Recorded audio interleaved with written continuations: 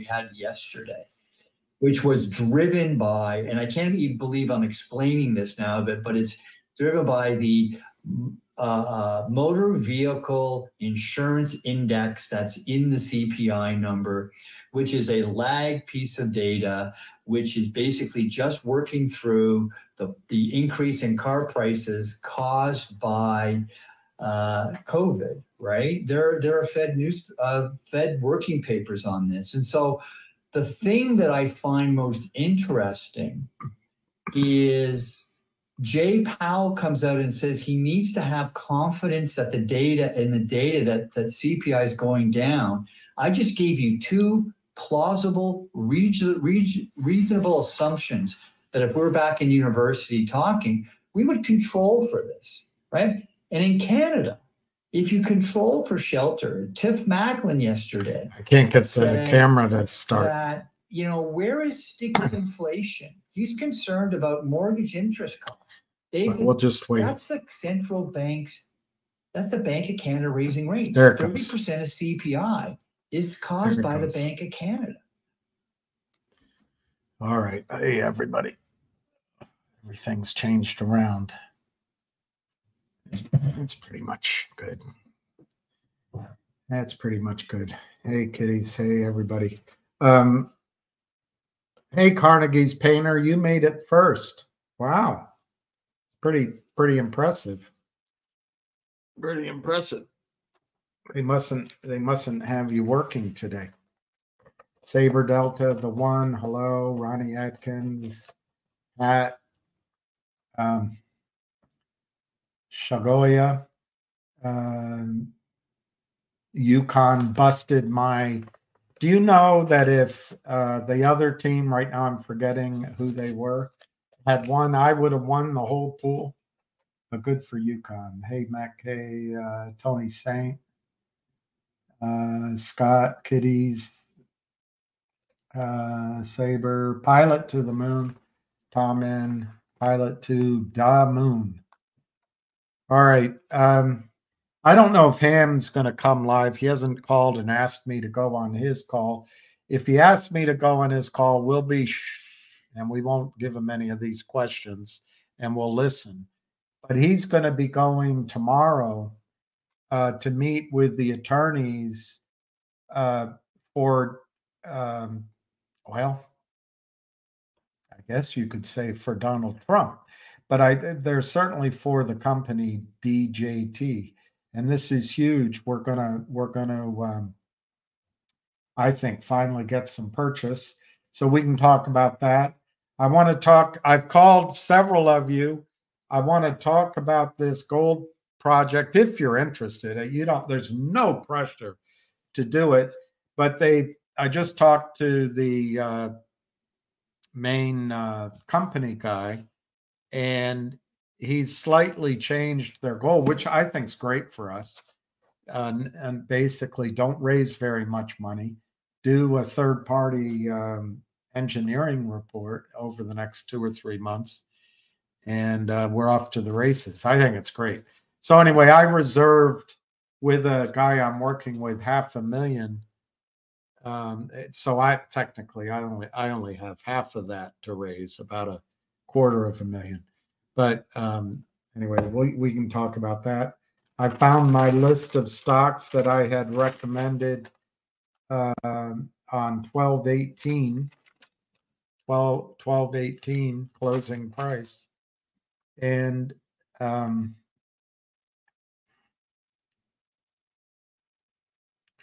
I circled uh, three of them in yellow.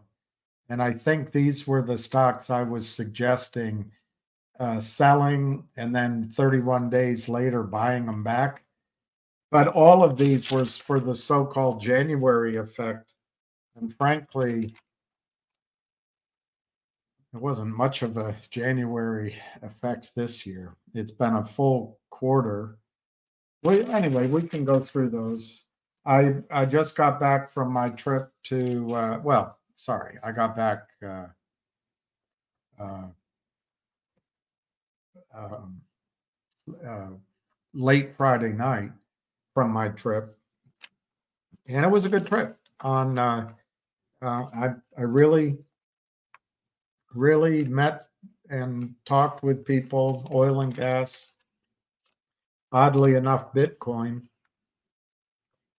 and I think I think it was uh, fertile for future ways of making money. I don't know what else we can talk about. We can talk about uh, uh, Meghan Markle, if that's interesting, and narcissism. We can talk about uh, the Middle East, which I think is probably more. Oh my God. Um, we can talk about other things while Ham comes on.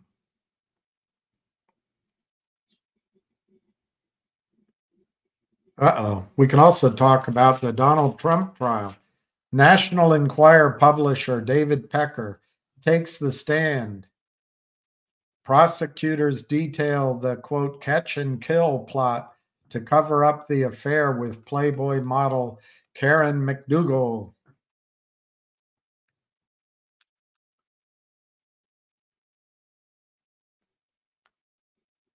Trump is forced to listen to full transcript of of course they reduce it to grab him by the uh, uh, private parts tape but they don't they don't put the beginning. When you're famous rich tall and the cameras are all around they let you they let you. They always leave that off but anyway i guess it's getting hot and heavy It's guess it's getting hot and heavy. Let's just look at some of the prices around ta- around the league. Look at the scores around the league. Uh, there's a stock that I don't talk about anymore, uh, down a little bit. Uh, not because I don't believe in it. Um, here's a stock I think you guys should be looking at as a trade. RCRT 137. Logic is down slightly at 0.032. I think that's a trade. Uh, DJT, I don't know what to tell you about that. 35.74.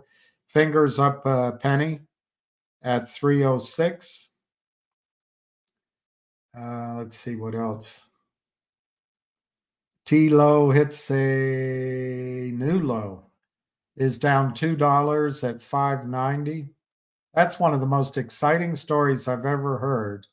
And they're going to destroy it because these young, arrogant punks are never going to need to elongate their lives.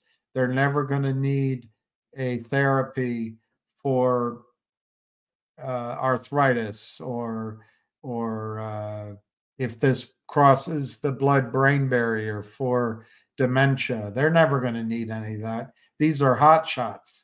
God's chosen people to, to destroy markets. Um, CAUD is 42 cents. There's a couple of stocks here I don't want to I don't want to mention um, because I've been asked not to talk about them. Northwest Bio was 48 cents, 48.6. Anyway, let me see what you guys are Okay. I want to ask you guys something else. I'm, I'm not going to do it. Uh, I haven't prepared anything, but um, I put my Venmo in the description, and I've never asked anyone to subscribe. I've never asked anyone to like. I've actually never asked anyone to contribute. But I'm going to be going to New York this weekend to be there when Finger and their people are there. I'm going to be there a couple of nights.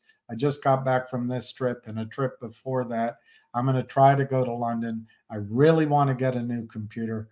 Anyway, I am at my wits' end because uh, I, I just need some, I need to replenish my working capital. So I put my Ven- Venmo out there. I'm going to try to raise uh, 12 not just from you guys, not just from you guys, but from other other things because I want to get a new computer. I want to start giving you better service because the frustration I have, I, you know, imagine if I could take this and then edit it into smaller bits. I also want to have uh, interviews. I, am going to have Anna and Kristen Shaughnessy on, uh, Anna, Queen of Trades, and um, uh, I'd like to get Richard Hoffman on on GTII. I was told this morning that um, the question I questions I answered two weeks ago, almost a full two weeks ago. Uh, that's just the beginning of the process to get my dividends uh, issued to me. So anyway, I just like to provide a better service. I know I've failed you by losing my temper sometimes and reacting in a uh, in a um, I, I don't know what word uh, grumpy uh, uh, Im, impertinent uh, um, snotty way to some people. And uh, I just, I need, we all as a group need to start moving forward on how we're going to just not be victims, get ready for what's coming. And unfortunately, I don't think it's going to be with some of the, the outside gains, at least not yet, that we, I was hoping would happen first. Um, and that reminds me of something. I did a video from the airport I think it was um, uh, Jay Ingram that he didn't really ask me to do a video on GTII, but he, when I did a video on a different subject, he came back very, it was very clear speak to GTII. And my um, thoughts as I were was going through this shopping mall that our airports have become, um, full of people. You can't walk anywhere. No wonder shopping malls are wiped out. People just go to the airport. But um, uh, I said that the GTII trade was a round trip, a round trip. People entered it at 20 cents, 50 cents, a dollar, whatever. It ran to nine and it's come back to where it was over the last couple days I, i've been thinking about that. It ha- it is a round trip but i should have also pointed out it becomes a new trade. That was the trade. Now i expected that we were going to have a squeeze and i've pointed out before that i believe there was a squeeze happening and for whatever reason as a group we decided that didn't interest us anymore and we went over to COSM, and that hurts people's feelings because Lou is dead, and how can you talk about it? Well, look, I, I, um, uh, I mean, it doesn't matter who I to you. It doesn't matter who I pray for, but I have prayed for Lou and his family. I've asked you guys to do it, and it's not that I'm trying to attack Lou. It's how we're we we're here to make money and that decision, whether or not it was the right one, it, it, in my opinion, popped the balloon of a squeeze. Now, in retrospect, his call was prescient in terms of getting out of GTII, but it's a little like, you know, it's there's some power. What's the word? You it's self-fulfilling, I guess is the word. Uh, the problem was COSM was a disaster for 85% of the people that played it. There are some people that made money. But anyway, that's all yesterday. How are we going to make money now? How are we going to get ready for what the headlines are saying is the markets are all going to collapse? Now, in terms of the markets, everyone's calling for a collapse. To me, that means it's not going to happen. But it could the thing to watch is the bond market, not the stock market. The stock market is under control by the Fed and the and the hedge funds. They just buy six stocks. Maybe it's seven, maybe it's eight. And if there's a sell-off, they come in and buy them again. And then there's this lethargy in the market, so that if you have put money in a fund or a close end fund or an ETF, the dividends and the additional monies just go into those same set of stocks over and over again. And the market is less of a predictive vehicle than a slow motion reiteration of what's already happened. It's like driving down the highway, looking in the rearview mirror and saying we're going to be okay. And then the Fed comes along and reinforces that idea. So breakfast at Biden uh, administration can get reelected because that's Janet Yellen's job. That's Gary Gensler's job. That's the whole coterie of advanced beyond their skill level uh, human beings that happen to not be white, straight male. And they count on their salaries, their benefits, the fact that they their inexperience and their lack of talent will be ignored because they check boxes. Um, that we can't run our economy this way. I'm not saying that there aren't white men. Look at look at uh, Buddha Buttigieg. Buttigieg. Of course, he's gay. That checks a box. But there's a singularly untalented uh, uh, man who should not be in office. He was mayor of a city, a mayor. But anyway, let's not get off on all that. That there's going to be a financial crisis coming. I personally think they're going to manage the stock market upward. Any correction is going to be counterbalanced by the plunge protection team, the Fed, the hedge funds, and they're going to try to make you feel like uh, God is great, Joe is great, Kamala is better, and uh, you know don't vote for the man that grabs them uninvited by the um, by the uh, private bits. And uh, so I think the market's going to go higher for the next months. Now, there's a huge caveat, a huge caveat. If the bond market gives up the ghost, if people stop trusting that the Fed has any meaningful relationship to interest rates, everything I say goes out the window. Everything I say. Also, after we get new highs in the market, I don't know, 20%, 30%, 40, even 40% higher, the S&P 7000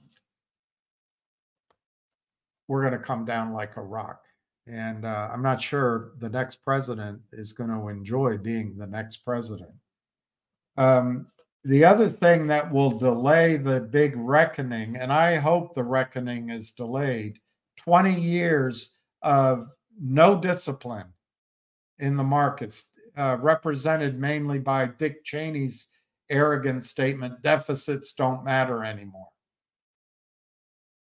That's because energy, energy is the source of all wealth. You can't refute that statement.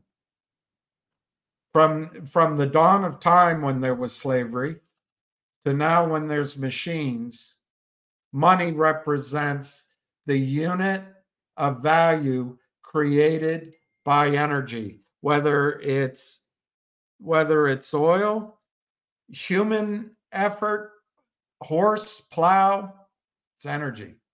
And so the arrogance is oil's priced in dollars. We have the military and yippee ki yay mofo. Well, that was Dick Cheney 20 years ago. And since then, there hasn't been a politician in either party successful in stopping runaway spending. That's and borrowing. That's partly because a debt-based system has to have constant growth in the debt. And we're now in that hockey stick phase of the growth. Anyway, the one more weapon they have to keep this going as they steal our assets, they give us this paper and they take our homes and turn them into rental property. They take our our uh, uh, futures, turn them into jobs in China and Mexico and Malaysia and uh, uh Slovenia, and they take our our sense of security while they they take their little bits out and buy condos around the world and farms and etc. That to keep this going, they're going to take us to war, and you can see that in the vote this weekend. Um, uh, both parties, the new House Speaker, we raised money for Ukraine, which is a hopeless cause. Hopeless. in my judgment, we're lucky we have Putin on the other side. Imagine if it were a strident general. I think he's been somewhat reserved in his approach.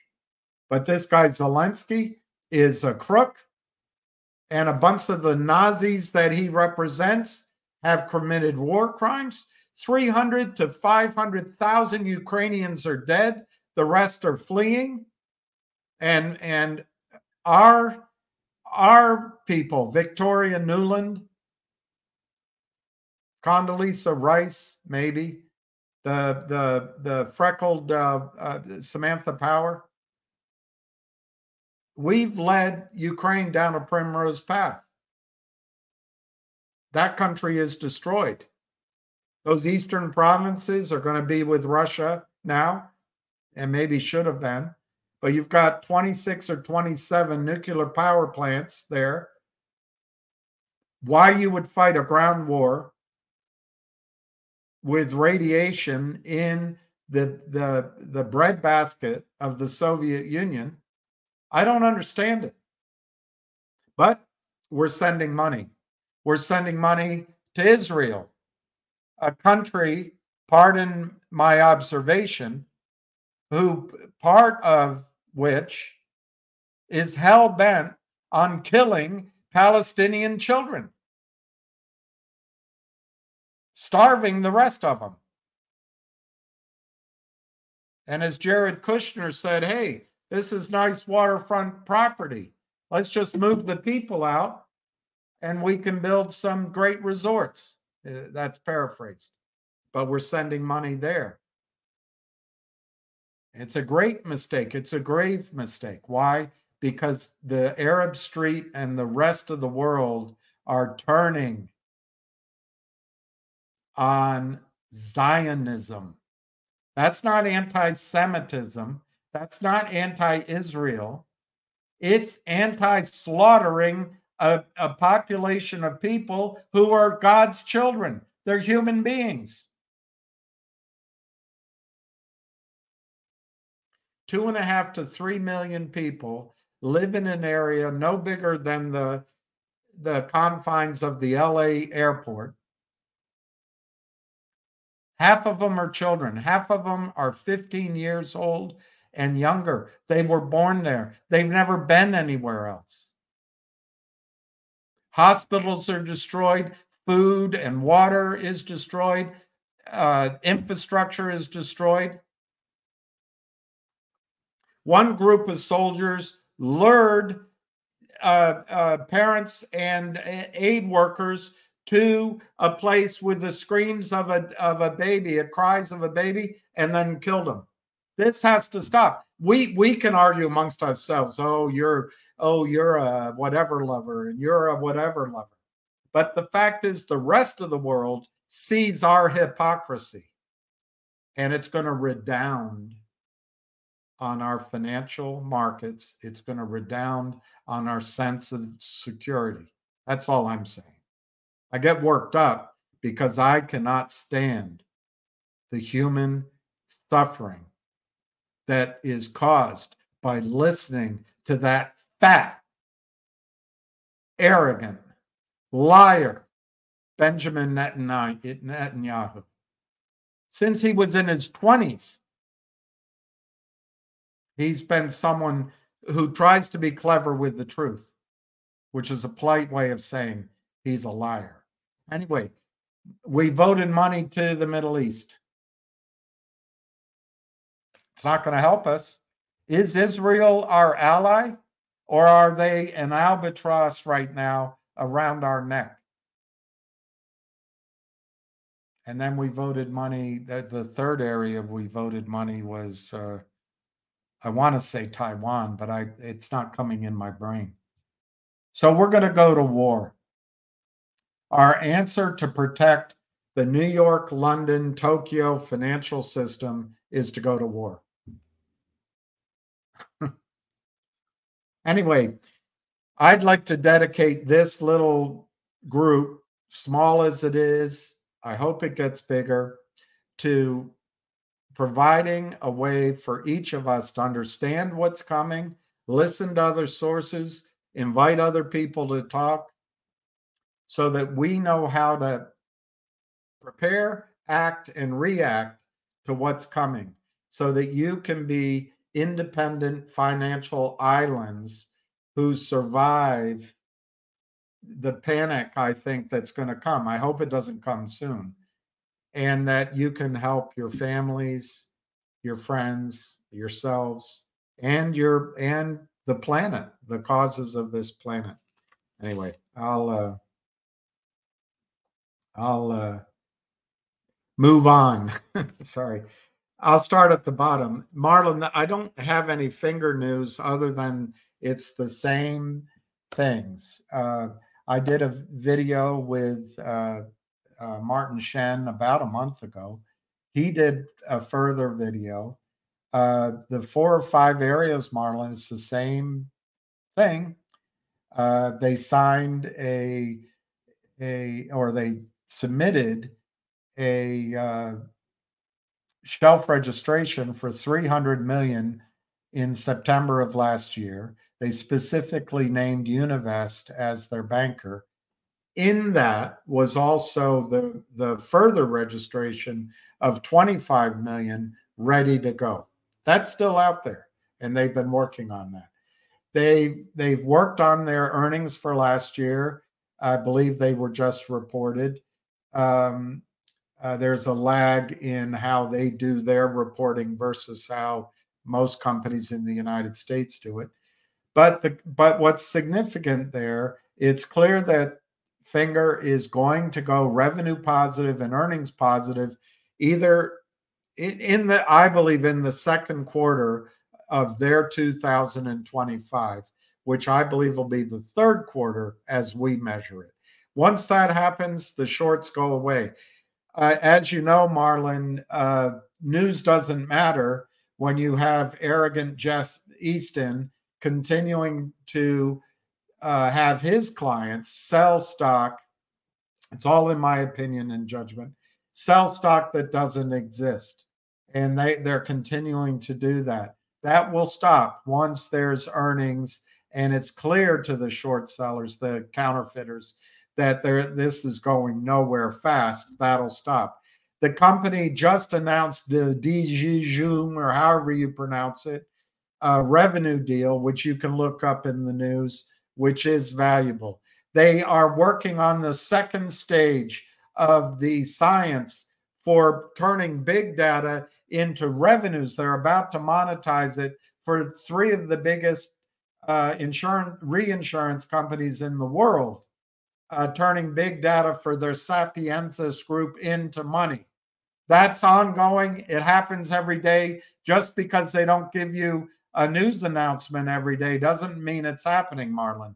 The fact is that as a CEO, if you put out news and you're repetitive about it, that's a violation of the laws and you can be sanctioned. If you're a criminal like Jeff Easton, in my judgment, and you're your criminal cohorts put out bad news every day and capybara and all that over and over again.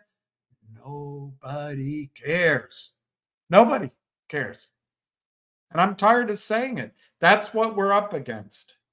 Um, the continued rollout, Marlon, of 5G in China, province by province, requires mandates by law, by law, that any consumer that buys a new phone in China to take advantage of 5G, which is all that's there, has to get so called Apple Care on each phone. To the extent that they use Finger as their channel, and Finger is one of two or three companies that are rapidly replacing the two companies that were caught up in con- controversy over buying minutes from the government at a discount and doing some sort of uh, money laundering with it, getting money out of China. They sanctioned, the government sanctioned those companies. They're expanding with two or three others. Finger is one. And to the extent that consumers buy their 5G phones via Finger, they Finger gets 25% of that 100 $150 annual uh, expenditure on a warranty. Finger is the gateway to the online shopping as it relates to their customers. Finger continues to buy minutes at a discount, sell them for a profit in an ever expanding way that is the safest sor- shor- source of revenue you've ever seen. And that's growing. I've left one out. Oh, they're the Netflix of uh, Southeast Asia. Uh, there are rumors, Marlon. It's just rumors. We keep saying them over and over because everyone says, Where's the news? Where's the news? But there are rumors of an acquisition, of government revenue, and as Ham said, possibly a link up with Alibaba. Could you imagine that? A link up with Alibaba? So, Marlon, bottom line, there's no news today on Finger. Uh, there's, in my judgment, five or six items of news coming. What I notice is when they make their news announcements, they're always low key. They don't overpromise, they don't hype, but they perform. And it is inexorable that Finger is going to meet its targets, expand its revenue, and be profitable. And the clients of Lind Partners, who Lind Partners is just a pretender financial company, they're just a front for people who have a lot of money and cheat the system via the uh, Reg SHO and via the which lawyers say, oh, it's a loophole. No, it's criminal. I, I don't have it right in front of me, but I can show you, and I've read them out before. The SEC makes it clear in its filings that before you sell a stock, you have to locate it in writing. But Lind Partners clients, who they are a front for, criminally sell stock and finger that doesn't exist. Now, there's apologists out there that say, oh, there's systems in place. Oh, you can't just add up uh, day after day after day of FINRA data because the FINRA data is incomplete. Why would FINRA data be incomplete? Is FINRA there to help you, Marlon, or or the criminals? I don't know. If it is incomplete, that has to be told to us. But the thing is, I watched with Finger back when uh, uh, Lou Bravo, uh, Frank Benedetto, and the, the Greek CEO of COSM came into these channels and said, Get out of Finger, get out of GTII, go into COSM. COSM has great leadership, it has contracts. They're not going to short, they're not going to do a deal with the shorts. They're they're changing their name. It's going to go up. They're they're uh, uh, changing their CUSIP number. That's going to cause a short squeeze. There's two thousand percent short, which turned out to be an, a whole cloth exaggeration. But everyone listened and everyone got out. Well, when that happened, Marlon, I watched. I added it up. I think I have pictures in my phone from it. the FINRA data for the next 10 trading days in Finger, they sold 100 million shares. Now, apologists will say, ah, there were private placements, and you don't know that they must have come in from offshore. For 100 million shares, they didn't exist. It's impossible. Oh, but they bought it back. You you can't tell they the FINRA doesn't report the buyback. That's just when the sale happened, but you don't see the buyback. Well, I'll tell you what, there were no sellers, no big sellers. You weren't selling. The buyback would have made the stock price go up. I never saw it happen. They took a short position, in my judgment, from 6 million shares to 110 million shares or more in 10 days. That's the Lind Partners. That was over a year ago. I haven't seen any evidence of delivery of shares, of covering.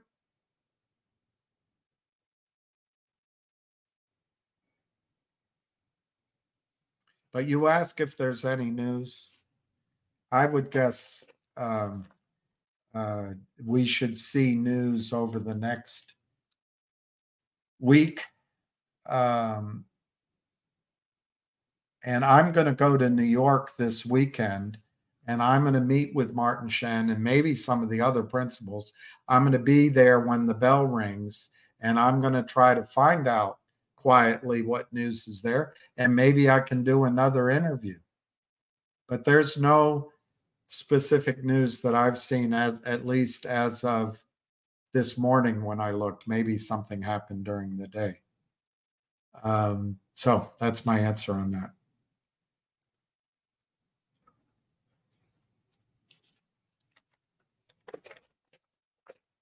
Well, Netanyahu gave Yasser Arafat everything, including a Palestinian state, and Arafat said no.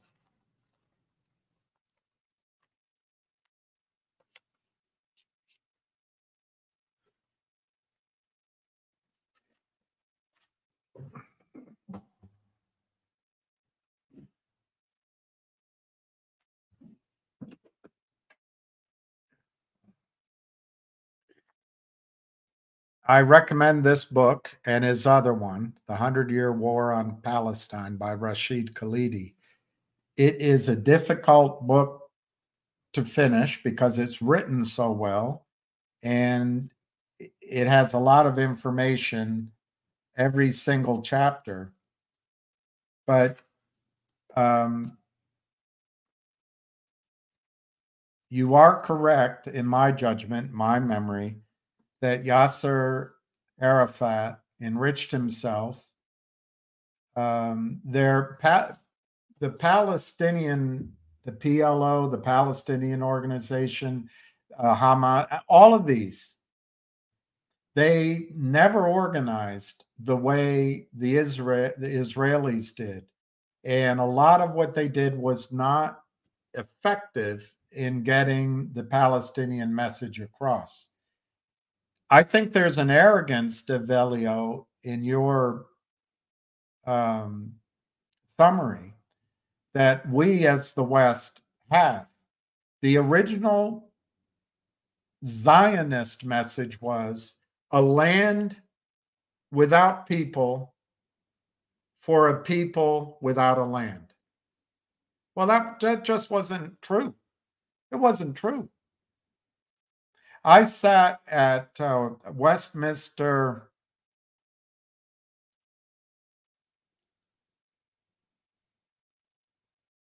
Abbey, I think it's it was called anyway. There's Westminster Cathedral and Westminster Abbey. One of them, I I, I was as a favor to my friend. Oh come on, it, um, Mazen would appreciate seeing you. I was going to be there for 15 minutes. I ended up staying that whole day and the next day to my memory. And on the anniversary, and I think it's called Nop Nopka, Nopka, Nopka. Let's see what Nopka is, what the definition of Nopka is.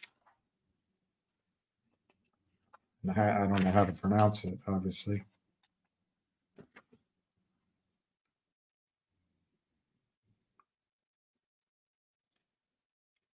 I must be mispronouncing uh, it. Oh, Nakba, Nakba, 5860 is where it's first mentioned.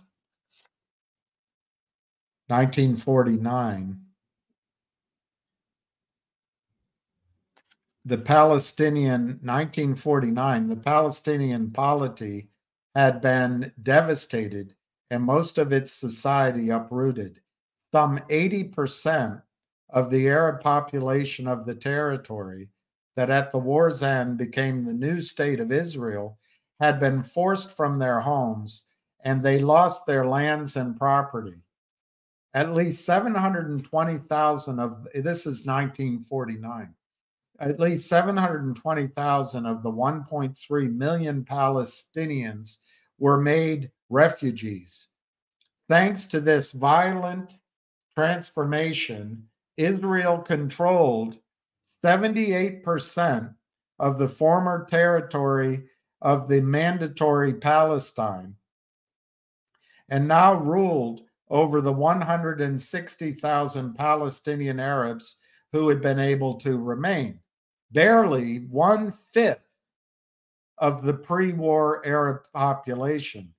This seismic upheaval, the Nakba or the catastrophe, as Palestinians call it, grounded in the defeat of the Great Revolt in 1939 and willed by the Zionist state in waiting, was also caused by factors which were on vivid display in the story his father told him foreign interference and fierce inter Arab rivalries.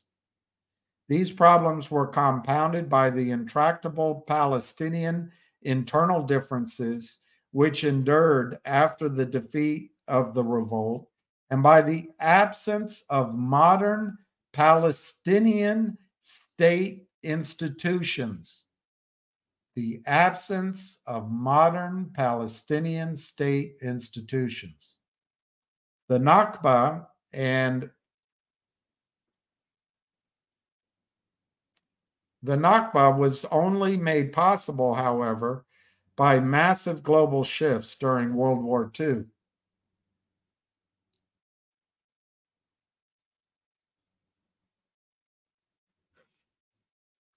The outbreak of the war in 1939, that's World War, uh, put an end to the wrangling over the British White Paper and brought a relative lull after the upheavals of the revolt.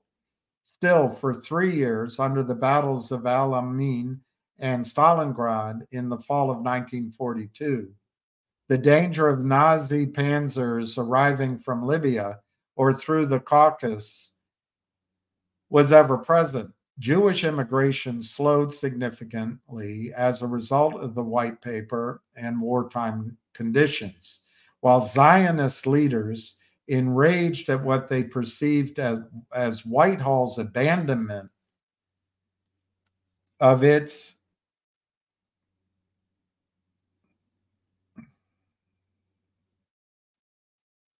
commitments, Whitehall's commitments to Zionism, shrewdly looked to engineer a diplomatic realignment away from Britain and toward new patrons. However, during this lull, the Zionists were able to continue to build up their military capabilities. Under pressure from the Zionist movement and with support from British Prime Minister Winston Churchill, a Jewish brigade group of the British Army was formed in 1944, providing the already considerable Zionist military forces with training and combat experience, offering a vital advantage to the conflict to come. By contrast, although a wartime boom in Palestine enabled some recovery uh, from the damage caused by the Arab economy, uh, caused to the Arab economy by the revolt, my eyesight, uh, the Palestinians remained fragmented politically with many of their leaders still in exile or in British detention, and failed to make sufficient preparations for the brewing storm. Over 12,000 Palestinian Arabs volunteered for the British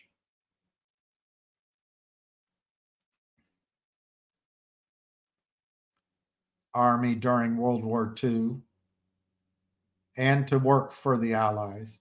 But unlike the Jewish soldiers from Palestine, they never constituted a single unit, and there was no Palestinian parastate to take advantage of the experience they had garnered. At the end of the war, a new phase of the colonial assault on Palestine was launched.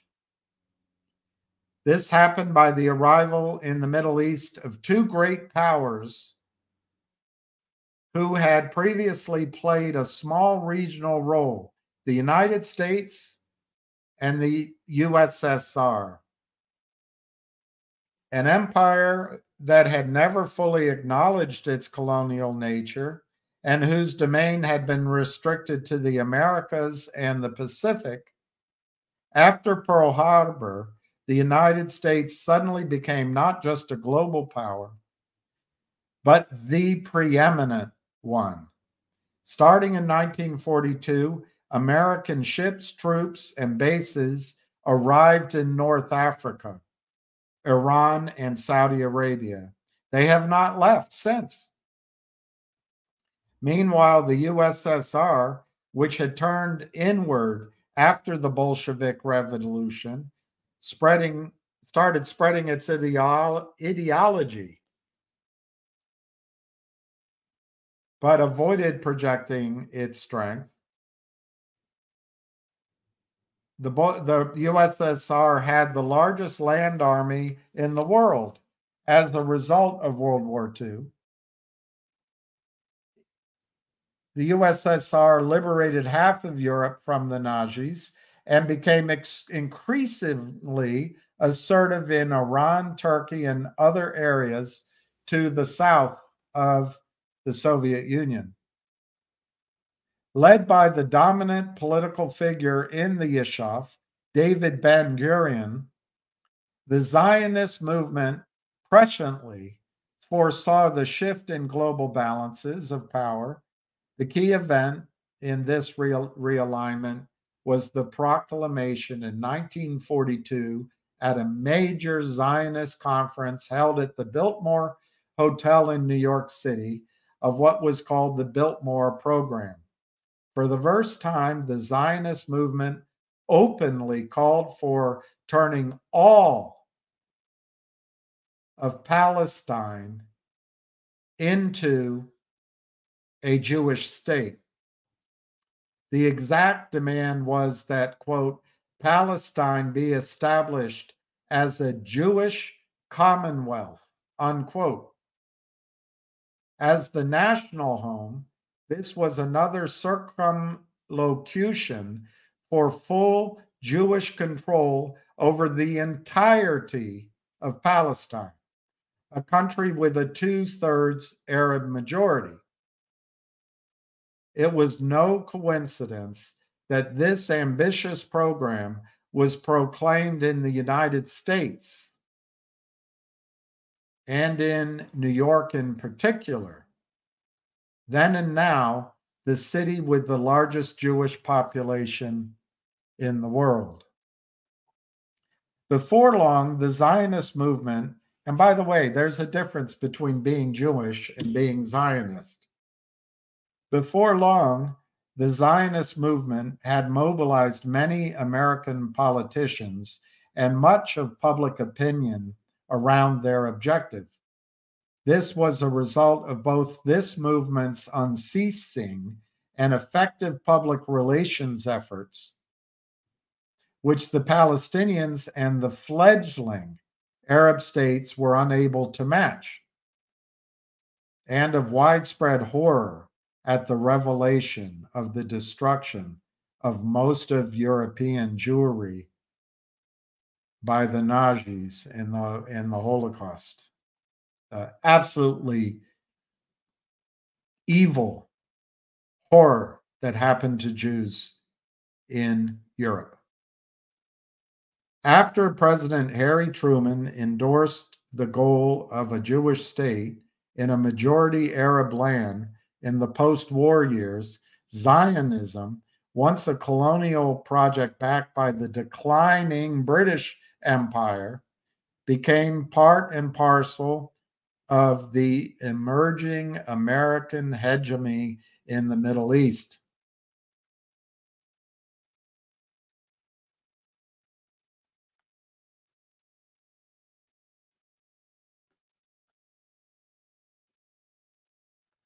There's a lot more here, but I'm going to try to. Uh, I'll I'll skip that.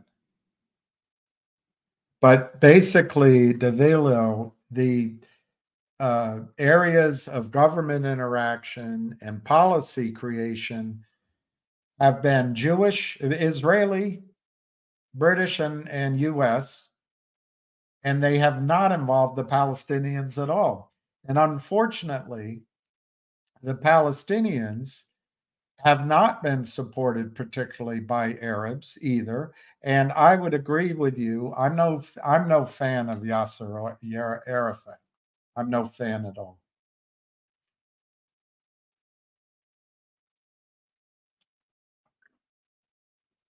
So the catastrophe was celebrated in Westminster Abbey or Cathedral on the 50th anniversary. And I sat there sort of in the back of the pew and I moved forward because both my eyesight and my hearing is not perfect. And I wanted to get closer to a, a microphone. And every Palestinian who spoke, from farmers grandsons and granddaughters, to the elderly, to military, to part of the uh, diaspora, to diaspora, to um, to uh, uh, uh doctors, to to uh, authors, to all aspects of life in this massively overcrowded church would get up and speak for 15 minutes, Daviolo. Daviolo. I'm just an, an American trying to understand. And the stories I heard as the tanks trained by the British, led by Menachem Begin and other terrorists, as the tanks destroyed thousand year olive groves, destroyed towns, overrode farms, and drove Palestinians out were heartbreaking. They broke my heart.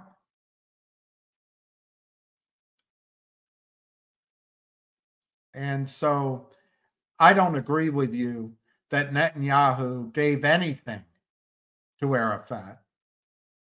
All Netanyahu has promised things to distract us as he keeps pushing, pushing, pushing. But I would agree agree with you that Arafat was an imperfect uh, and and corrupt representative for the Palestinians. But who represents the Palestinians? Um, uh, everything Netanyahu says is a lie. They do not intend that right wing aspect of Israeli policy. They do not intend to have a two party state. They do not intend to have any Palestinians in a land from the Jordan to the sea.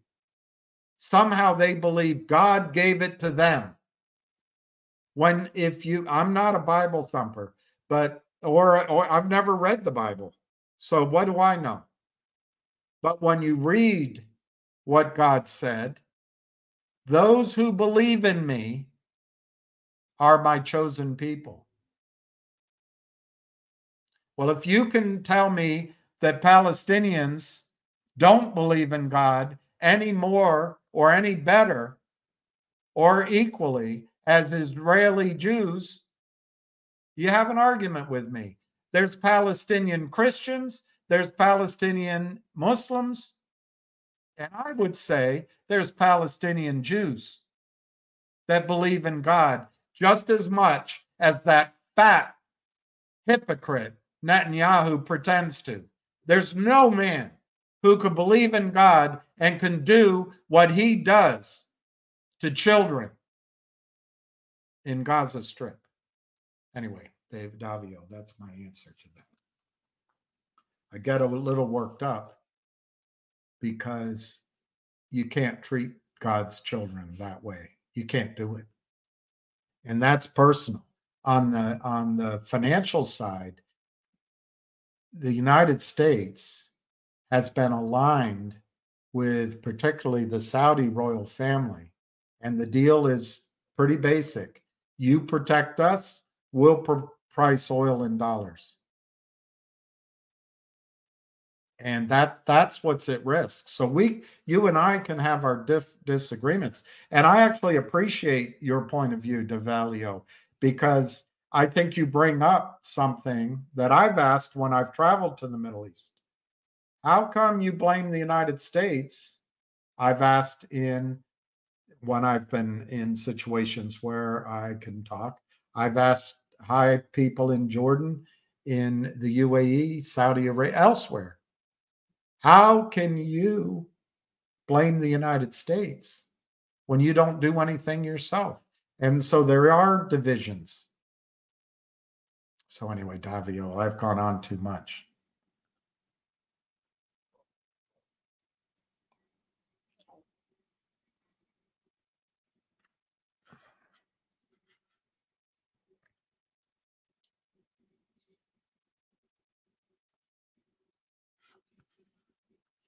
I sympathize with Hamas. I didn't say that. I don't sympathize with Hamas. Do you know that Israel created Hamas? Study your study your history. Study your history. They they I see that's Marcus, that's unfair. Because what you're trying to do, oh, you're evil and we're good. If you question our policies, you're anti Semitic and you sympathize with Hamas. Well, let me, Marcus, Hamas, as you know, is north. Hamas is the northern part. I, am right now, my brain's not working. Who, what's in uh, uh, Gaza Strip? But on October 7th, there was something like 1,700 people killed. Marcus, you can look up Israeli news. The majority of those killed may have been killed in crossfire from Israeli soldiers, just young people, scared, petrified. But since then, Marcus, depending on where you read the press, over 30,000 Palestinians have been killed in the reprisal. Half of them are children. To speak for those children doesn't mean I sympathize with Hamas. I'm pretty clear. I sympathize with the children and the Israeli children or young people that were uh, killed. I sympathize with that. I'm against the war, Marcus. I'm against the war. And you say, talk about stocks. This has everything to do with our stock market and your your security and your financial future.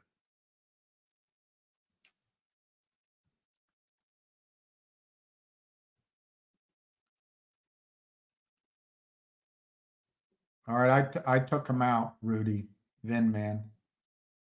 Uh, what's the news? What's new with Finger and GTII?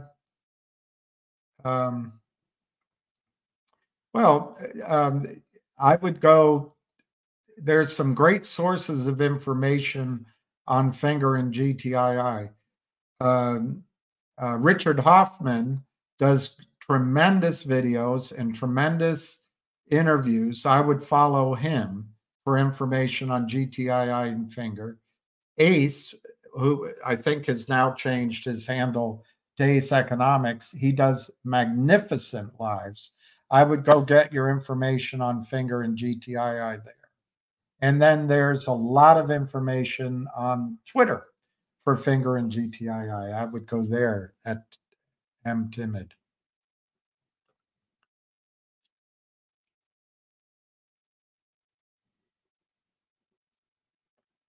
I'd say news on GTI is oh the website is offline. I didn't know that. Let me look, Lee. Let me look. Um,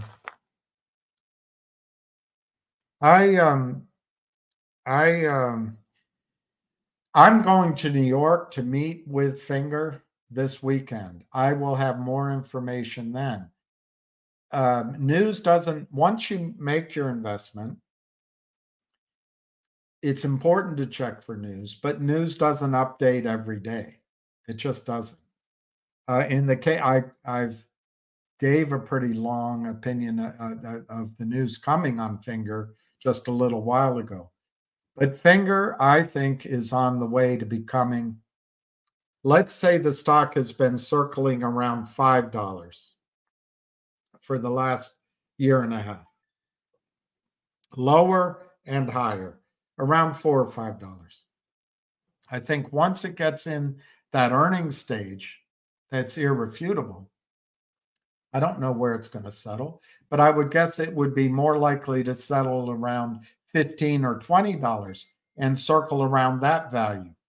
That's going to hurt the criminals because they're going to have to pay for those losses every month. I think that's when you could see pressure in terms of a squeeze. Until then, I think Finger has a very strong possibility of doubling or tripling based on fundamental news. Do I think it's going to happen on overnight?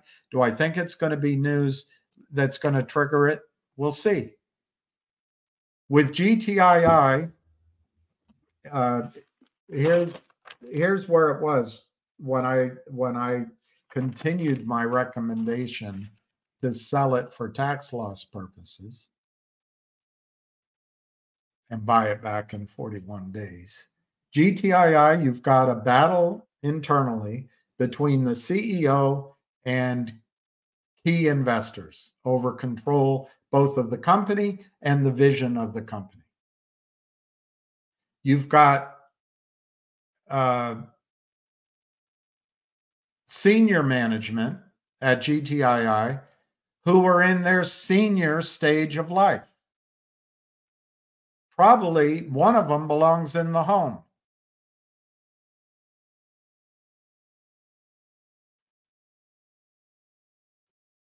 That's not in the news every day. And I don't know if it's true. But it it's arguable. But let me ask you this. Uh, who is this? Um. Let me ask you this. If you were a company seeking to incubate in what I think is a pretty good strategy that G- GTII set up, and you looked at the CEO and president who's in his mid 80s, you looked at the board.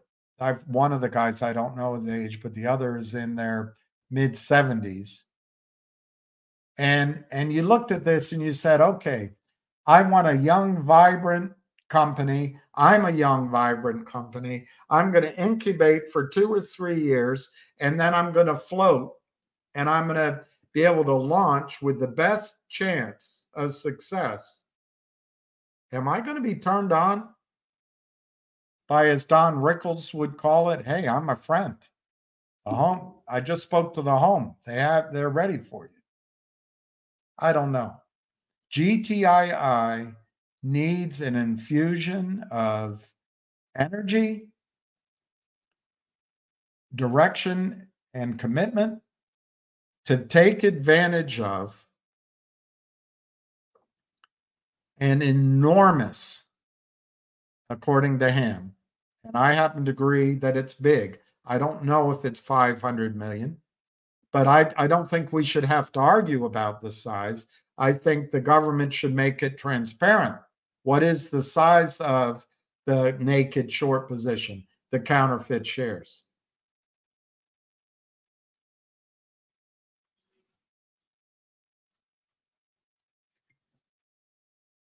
GTII is a shell with potentially half a billion shares naked, naked short. That if those have to be covered all at once, you got to move upward. However, I just the the the elderly management, and I'm no spring chicken either. The elderly management is, I think, holding back rapid action to make things happen at GTII. I've said this for months. I'm being even more clear now, perhaps. What news could come for GTII that's going to make anything happen that is related to GTII? I would argue nothing. Nothing except the resignation of David Reichman or some other final uh, uh, exit caused may, maybe by a vote or you know there's other ways of of leaving. Other than that we have the management we have. They're going to continue to uh, keep control of the company and I don't see any news coming from GTII that's going to cause the stock to squeeze from GTII. But Alpine, run by John Hurry and Elizabeth Hurry, or they've got Alpine and they've got Scottsdale. They launched a legal fight when FINRA sought to get Alpine expelled. To get Alpine uh, prevented from acting as a prime broker. Why did they fight? Because the NSCC said in their court documents,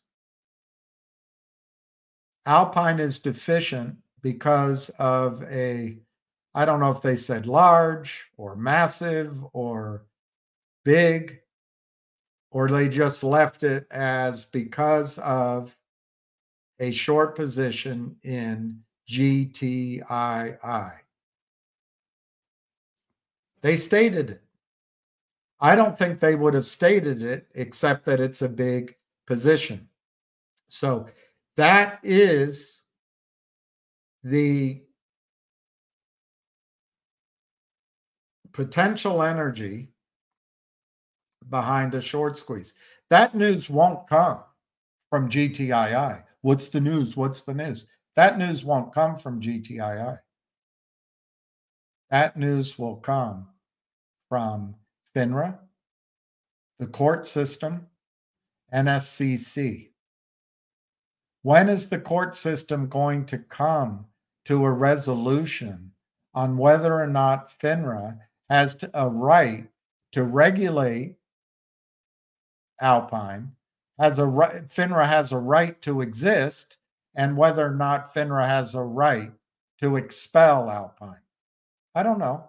But when it comes, whoever is now in charge of the Alpine corpus is, I think, going to have an incentive to buy back that short position. Now, has it been moved out? Possibly, it has. Possibly all of the crossing and spoofing and all that has moved the position elsewhere. Possibly the apologists say, ah, oh, that's no way. They've never shorted that. You're wrong. It they're never could. There's systems in place. It's a piece of shite company anyway. There's no value in GTII. It shouldn't be trading at at 30 cents. Well, what should AMC have traded at $70 should GME have traded up at 45, whatever the numbers were. Short squeezes take on a whole different role.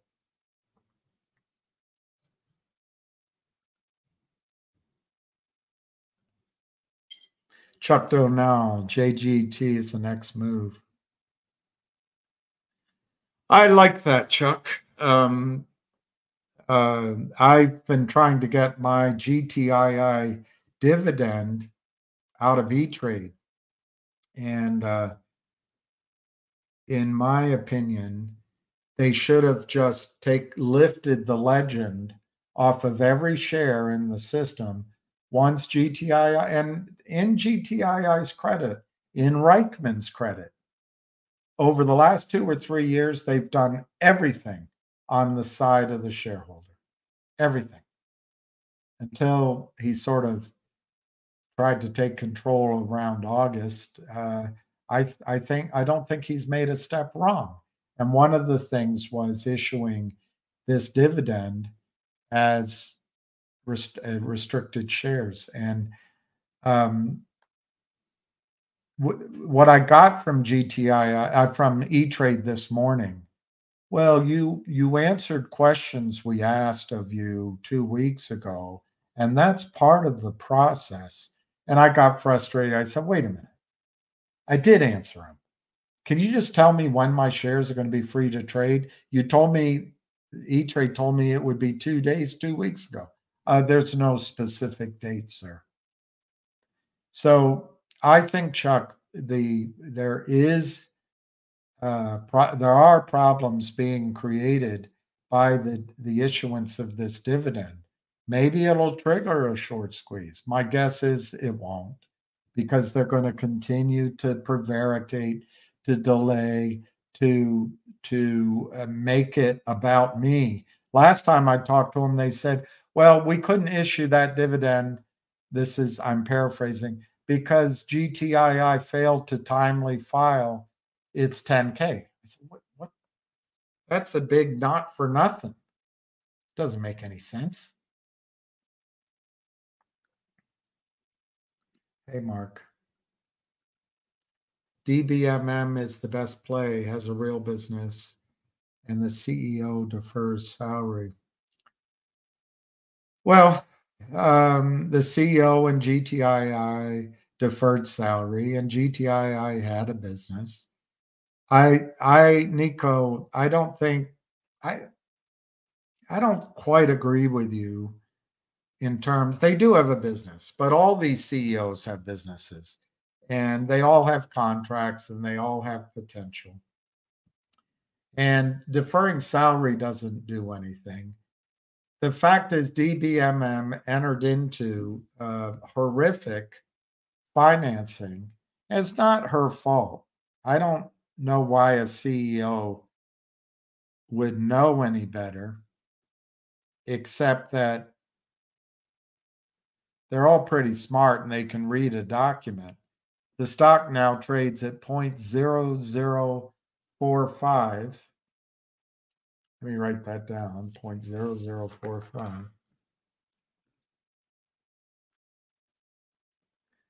So that's no, no, 0.0049. 0.0049. And let's see what news. Uh, I want to see when they did their last split. split.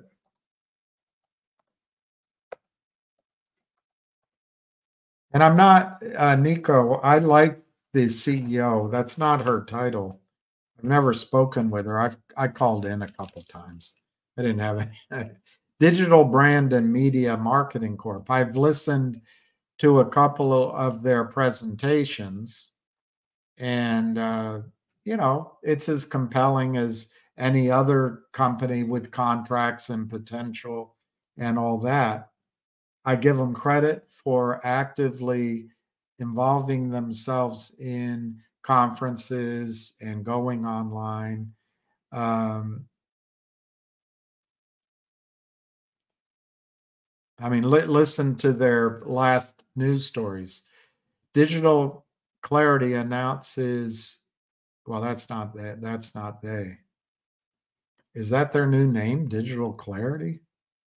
No. So that's that's just a related company uh, with DBMM. Uh, DBMM is presenting at the Emerging Growth Conference July 12th and 13th. That's tremendous. DBMM Group updates market on unprecedented year with positives looking into 2024. DBMM unveils bold strategic growth plans to propel shareholder value and expand opportunities. Um, Digital Brand and Media and Marketing Group, uh, Reggie James is featured in the Stock Dave podcast. DBMM Group files 8K um, after SEC's dismissal order. DBMM to present an emerging growth conference July 12, 2023. Anyway, let me see if there's any more news. Few more. I would I would um, give them Nico top grades for participation, for communication with investors. Um, I think the CEO is that's not her title. I think she is fighting the Kramers and has helped our our cause. So I only have positives to say for uh, DBMM and their team. But, but, um, I, let me just see disclosures.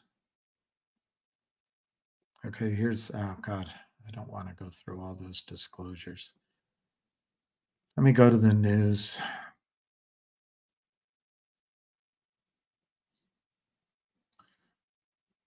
Strategic alliance with leading transformation consultancy.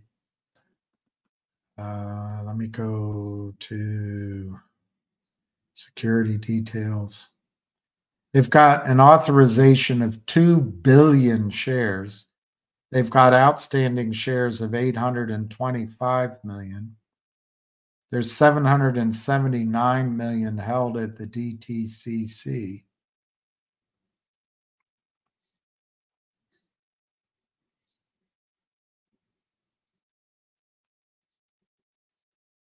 Okay. On, well, I can't find if they did a reverse uh, split because the news doesn't go back enough. Uh,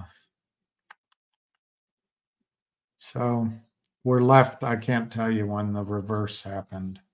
I there's too many disclosures to go through. So anyway, it's trading for half a penny. What we can tell Nico on Yahoo,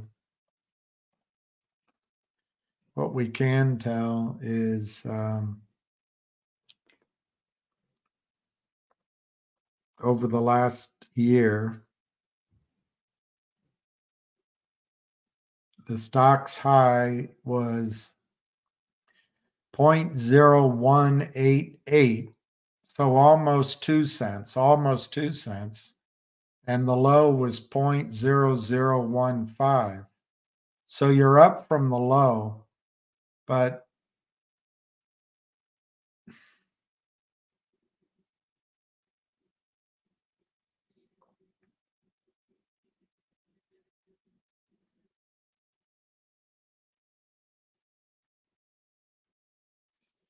I don't know. Um, I just don't know when what the split was.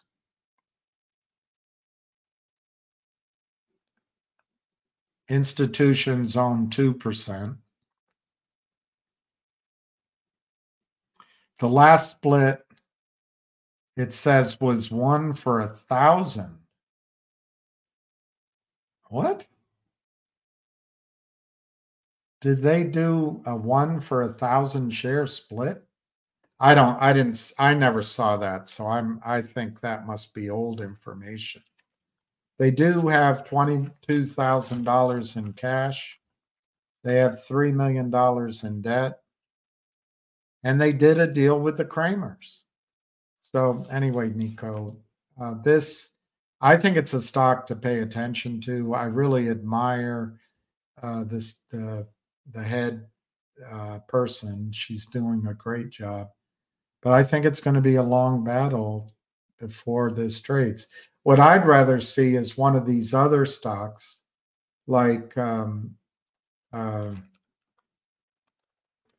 there's a stock that Ham talks about that's related to this one, which I don't speak about anymore, but I think that could have a move. And then this one will move. And it'd be nice to build a position in DBMM as long as you set it aside and you're not watching it every day, because I think it's going to be a long slog before they get ever get out of the trap that the Kramers put them in. That's my opinion. It's just my opinion.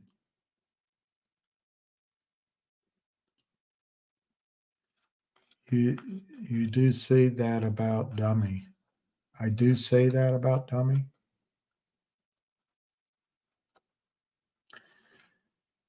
Oh, here we go. The last reverse was to okay, good. That's good news, Nico. I take that as a positive, actually. Um, 80. I'm not worried about 80 million shares. Uh, that's not dilution necessarily. But if the last reverse was seven years ago, that's good news. That's good news. That means she knows that further reverse splits help Curt Kramer and his clients. So that's good news, Nico. That's good news. Look, all of these companies have a tough fight. As soon as you take a deal from Curt Kramer, you could you might as well work at Walmart. As soon as, as soon as you take a deal from Jeff Easton, you might as well work at 7 Eleven. It's tough to get out of these deals. So the reverse was one for a thousand. Wow. that helped Curt Kramer. Um, let me see the news. I want to read this this alliance they just 11 days ago. Digital Clarity, a leading digital marketing management consultancy, and the wholly owned operating flagship and brand of DBMM Group, a fully reporting U.S. public holding company, announced a strategic alliance today with award winning privately held strategic transformation consultancy, one over OV many. Over, I guess, one over many. Both companies are announcing their new partnership today. This powerful partnership brings together two industry leaders to offer co- comprehensive solutions that drive growth and innovation into agile organizations for businesses across Europe, the United States, and beyond with selective measurement.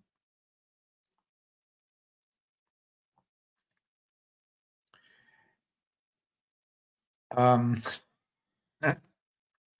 sounds good.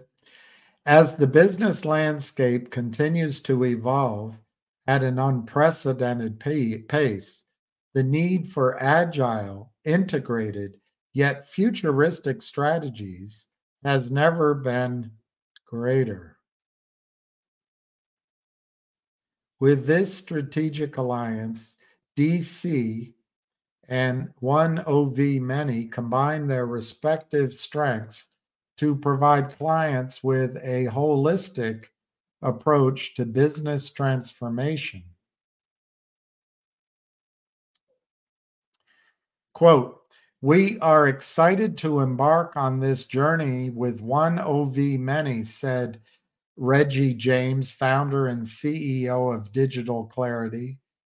Quote, by combining our deep understanding of digital marketing strategy with their expertise in strategic, sustainable transformation, we are uniquely positioned to empower B2B tech leaders to navigate the complexities of today's digital world and achieve their growth objectives with full potential, unquote.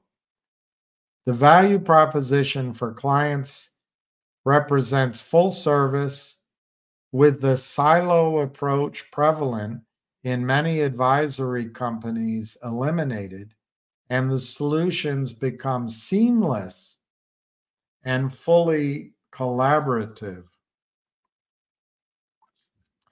Digital Clarity brings years of experience in digital, strategic digital market management, offering tailored strategies that resonate with target audiences and drive tangible results. From market research and branding to lead generation and customer engagement, Digital Clarity is committed, or should be, uh, sorry, is committed to advising clients to maximize their potential, which edges out any competition. One over many specializes in digital transformation helping businesses harness the power of technology to streamline operations, enhance customer experiences, and drive innovation through organization design and agility. With a focus on emerging technologies such as artificial intelligence, IoT, and blockchain, IOV Many empowers organizations to adapt and thrive in a rapidly changing environment. Like Digital Clarity, One Over Many is based in London and uses words like they're based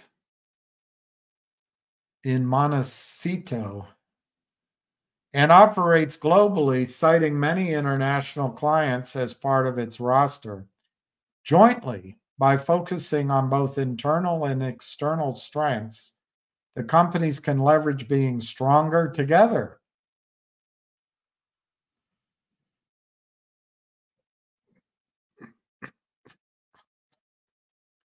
Prospective and current clients receive a unique way forward which results in a competitive advantage. Together, digital clarity, and let, let us show our clarity by writing run on sentences, paragraphs, being repetitive. And IOV Many offer a comprehensive suite of services designed to, ad- address the diverse needs of today, today's businesses from developing integrated market strategies to implementing cutting edge digital solutions. The Alliance provides clients with one stop shopping for all their growth and transformation needs.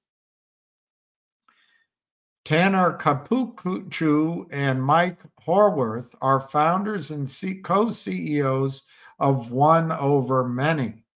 Tanner said, quote, our partnership with Digital Clarity makes us marks a significant milestone in our journey.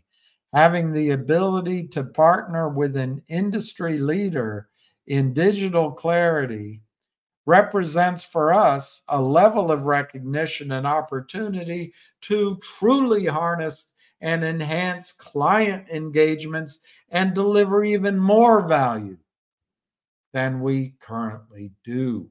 Unquote. By combining, continuing a quote which was just unquoted, by combining our internal organization design, organizational design, change management, technical expertise and guidance with their external marketing acumen and execution, we are poised to deliver unparalleled value to clients seeking to unlock new growth opportunities, drive meaningful change, and achieve full sustainable growth, unquote. The dynamics of having a seat at the table of clients, decision makers exponentially increase a consultancy's value, much like that of its attorney, attorneys or bankers. Whether clients are looking to expand their presence in new markets, optimize their digital infrastructure, enhance their brand visibility, the Digital Clarity and One Over Many Alliance offers a compelling solution while positively impacting the environment and society.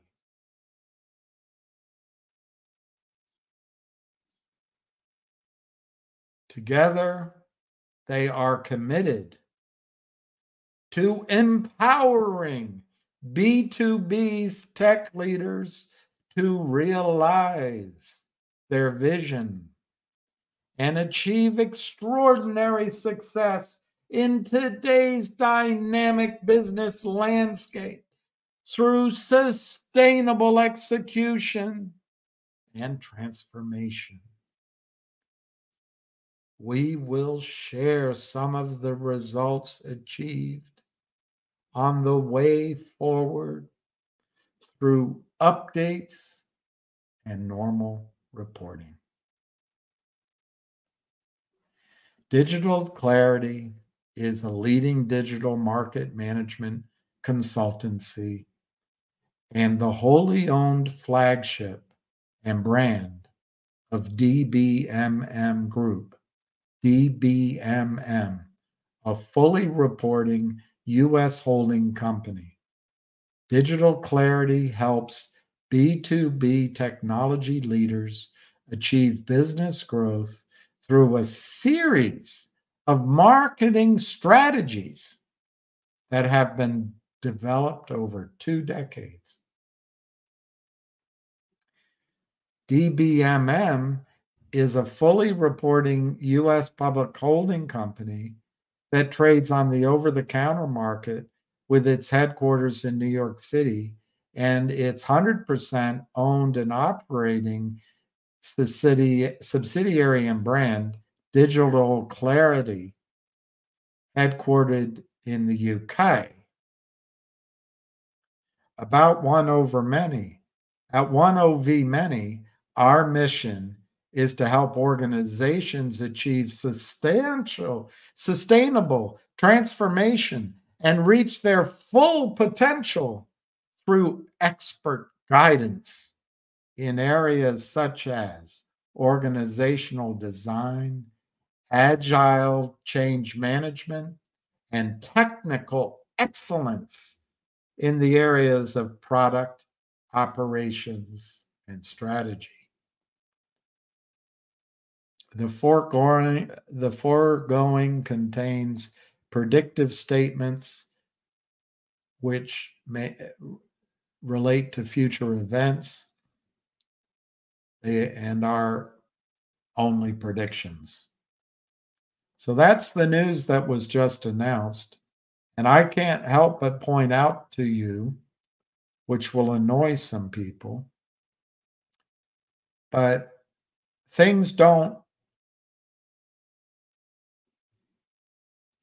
the the digital clarity and one ov many alliance offers a compelling solution while positively impacting the environment and society there's that is not a proper use of the word impacting, but maybe it's accepted now.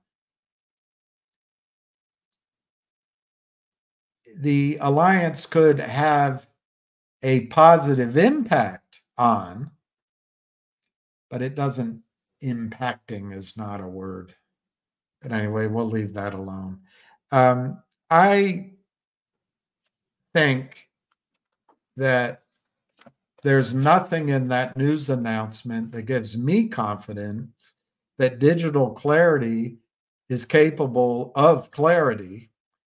And there's nothing there that gives me confidence that one OV many uh, has a way of expressing strategies in a clear way, much more, much, much more than uh, being able to outline a clear strategy. So I think they should go back to the drawing board on that announcement. But I have listened to presentations. There is growth in their business, but there's nothing here that will scare little Bill.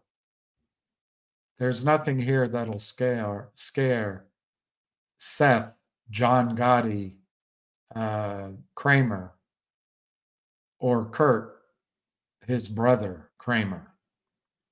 So, I I really think DBMM is something to watch, maybe accumulate a position in, but I don't see anything in the near horizon that's going to uh, scare the Kramers and their clients. That's just my opinion.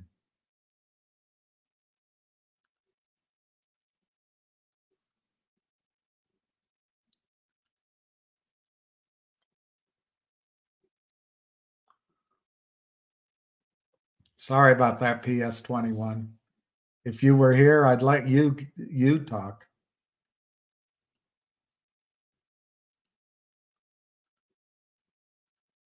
I don't know if I could be a preacher. Send your money and God will bless. Anyway, I don't know. I, I could do that. But having mentioned that, um, I've never asked before, and I'm going to for the next five days because I have to go to New York. I'm going to try to go to London. I have to buy a new computer and other things. If you think of it, um, I put my Venmo details in the in some sort of description, and uh, any donation will be appreciated. I also have a strategy to pay back anybody that does it, and that's not relying on God. It's relying on what I'm what I'm planning in the future but anyway, I really would appreciate any uh, Venmo contributions, anything. And I also uh, I love I love that you speed it up. I I I appreciate that you tolerate my going on and on.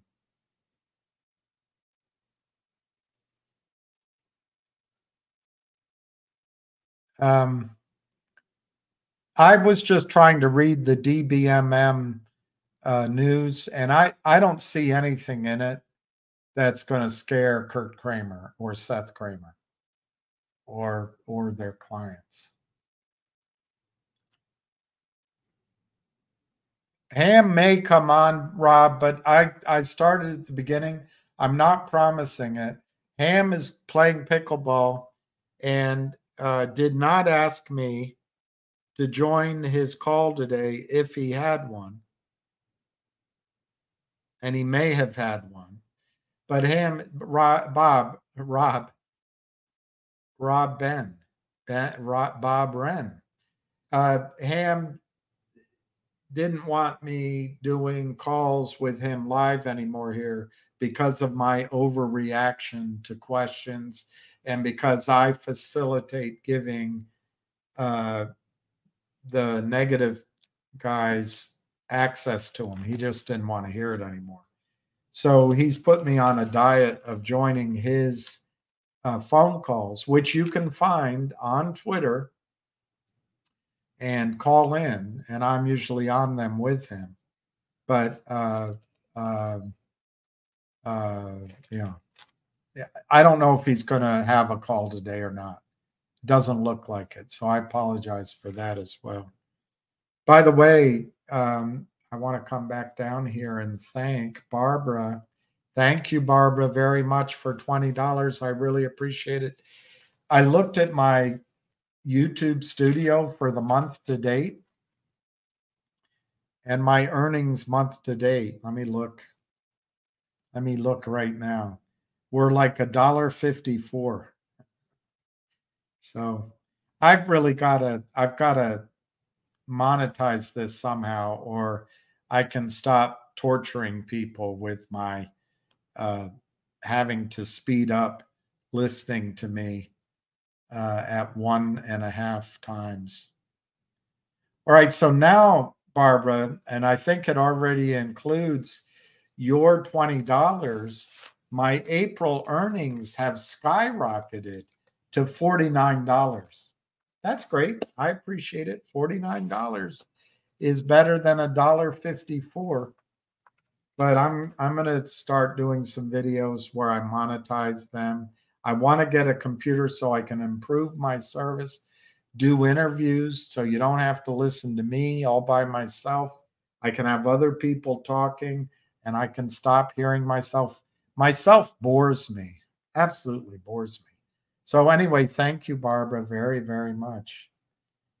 Well Deacon Blues right now, April earnings says $49.03. So at from Friday when I last looked to now, which I assume includes Barbara's very generous $20, it's gone from $1.54 to $49. And I really appreciate it. Mark goes for 2x. I'm starting to have a I'm starting to have a inferiority complex.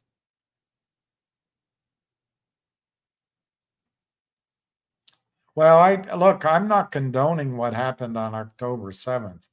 It was horrible. And I'm I read the stories about the um, particularly there was one woman I can see in her there, there was pictures of her running and scared uh, just awful, awful. And uh, um, but come out seven. Uh, um, I don't know how to say this to you, but Israeli soldiers and Israeli. One thing about Israelis, eh, um, uh,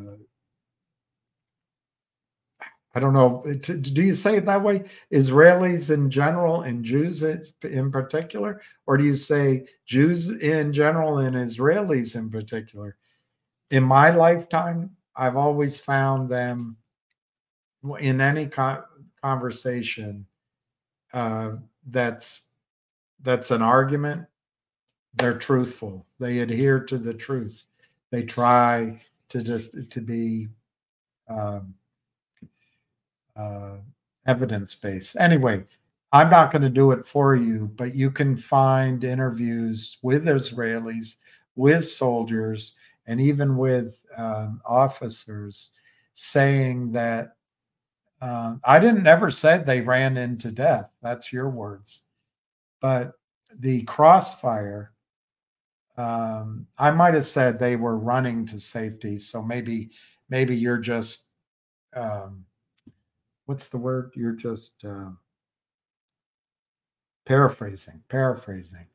But uh, the crossfire killed, you know, there were 1,700 killed. And from news sources out of Israel, and I can't remember them now because it's so long ago. Uh, but you, I'm sure you can find them.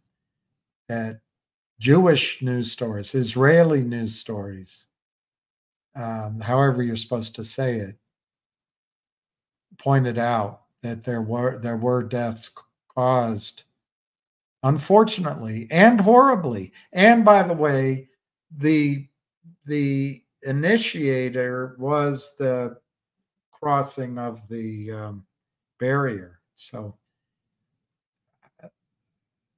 it still does and it's not good. I do not condone it.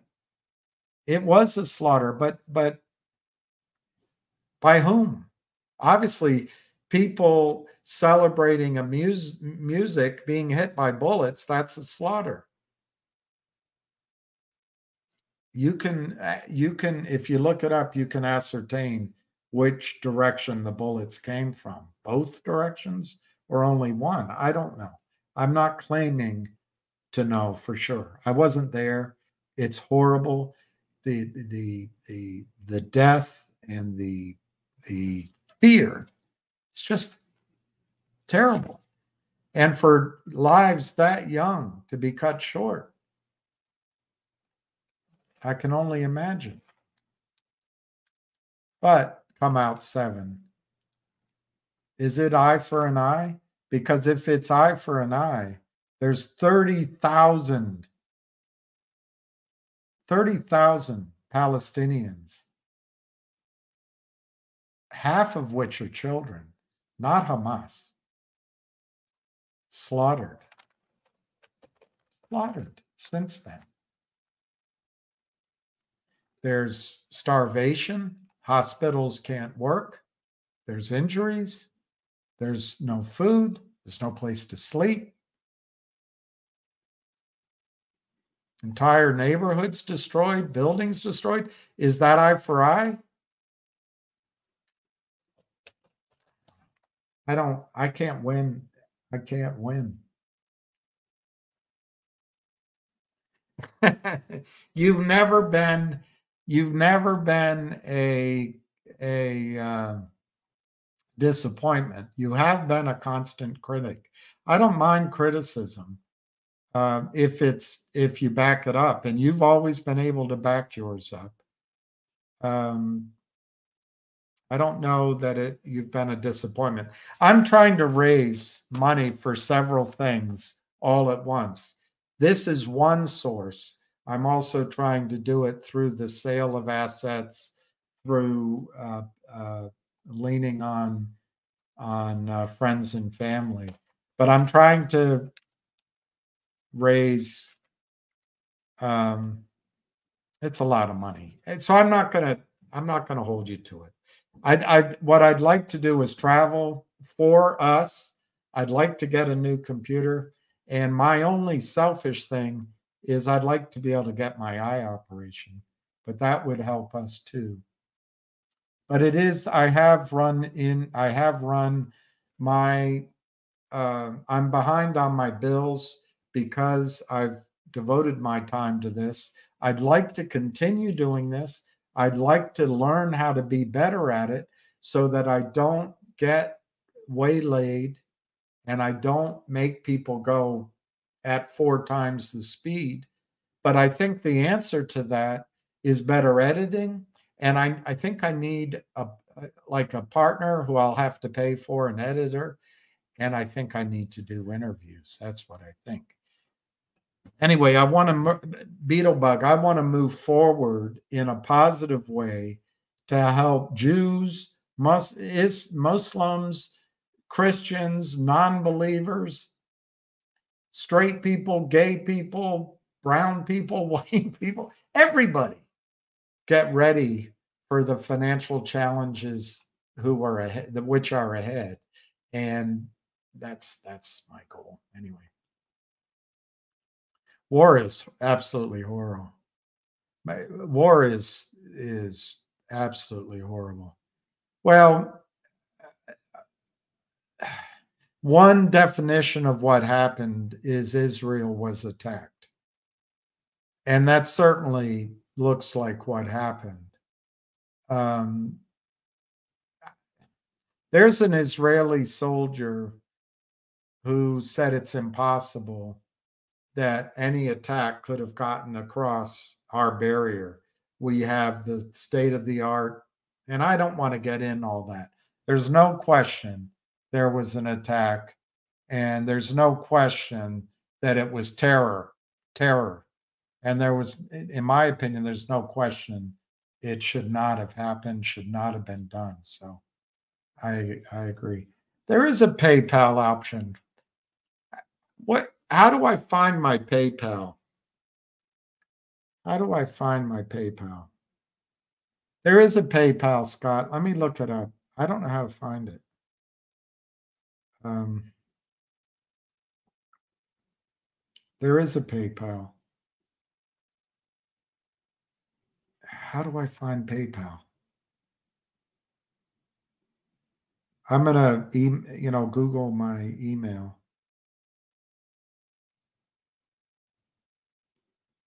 PayPal.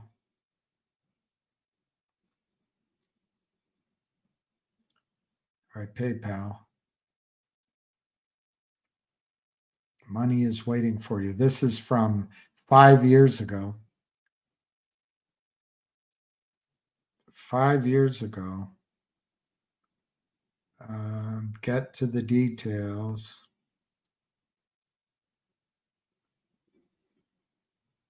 All right, my PayPal. See, this is the problem. All the saved passwords go.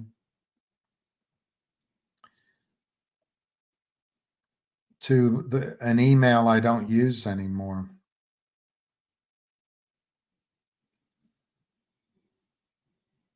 I am human. Hear me roar. We haven't confirmed that. Use your email. See, I. Let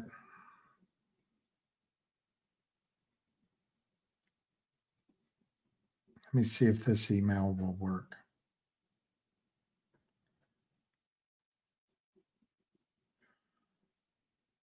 Maybe. Let me see.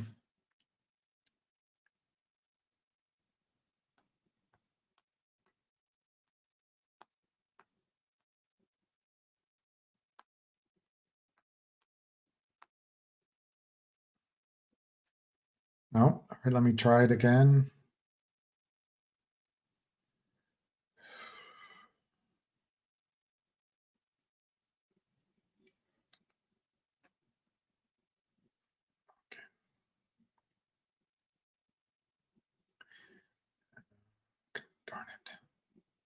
I don't know, Scott.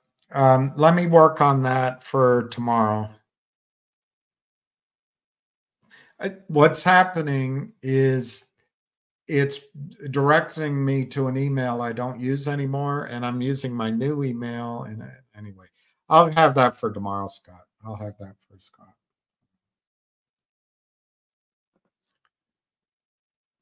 Yeah, Pharaoh, I would do it. I was uh, asked to, and I would do it. Um, I think there's probably other people that would do it too. The key, Pharaoh, is um, to me. I would immediately, whether through a money raise or issuance of shares or both, I would immediately add cash flow to the company. And then I would add growth in assets, but I would put so much pressure on the shorts it wouldn't stop. And we'd get there. We'd get there.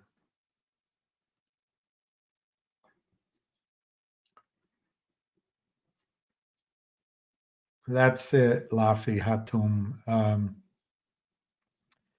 I often wonder what would cause someone to do that kind of action. And um, there's a Jewish guy named uh, Finkelstein. He's, his parents died or or were sorry they were in the prisons and they met there. Uh norm finkelstein? Darn it. I hope i don't have biden disease. Norm yeah finkelstein. And he is amazing to listen to.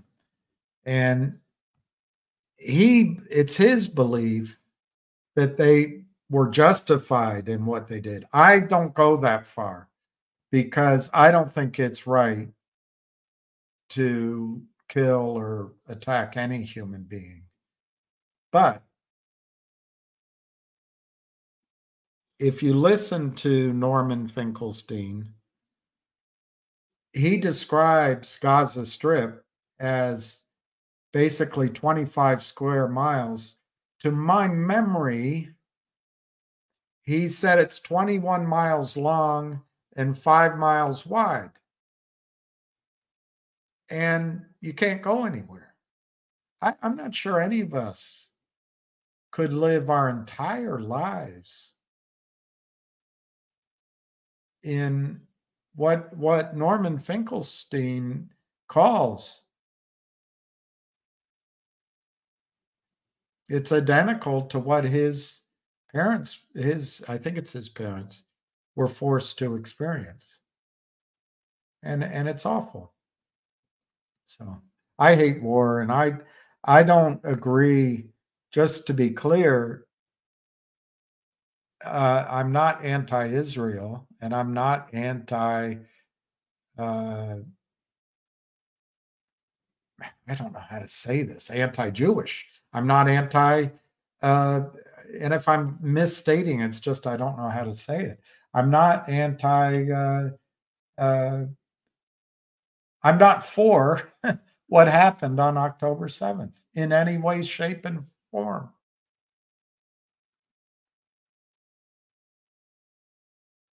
Yeah, that's it. The kids. It's the kids I drive me crazy. Well, Pharaoh, I don't know that it's going to be Tor- Tor- the Toronto. Is that how it's spelled? Toronto? I'm not sure it's going to be that. But there are other minds, and I'm working closely with that guy. And he's got such energy, such drive that I think um, we can make GTII, whether it squeezes or not, I think we can make it a valuable company so that everybody makes a return. I think that. Wow. What's that? 500 smackers. Thank you very much, Candy Morton. I I really appreciate it. I, I actually care for all of you guys. Um, I hate it when I get negative feedback because I I I think I should have gone done better. I love your puppy dog. I love your puppy dog.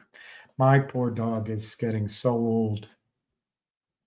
I walk him, but his, you know, when he's standing there, his back legs sort of fall back on him, but he still has his puppy ears and uh, he's still a good boy. Thank you so much, Candy. Thank you very much. I really appreciate it. Uh, I'll come back to you. I'm not leaving you. Trento, yeah, T R E N T O, yeah.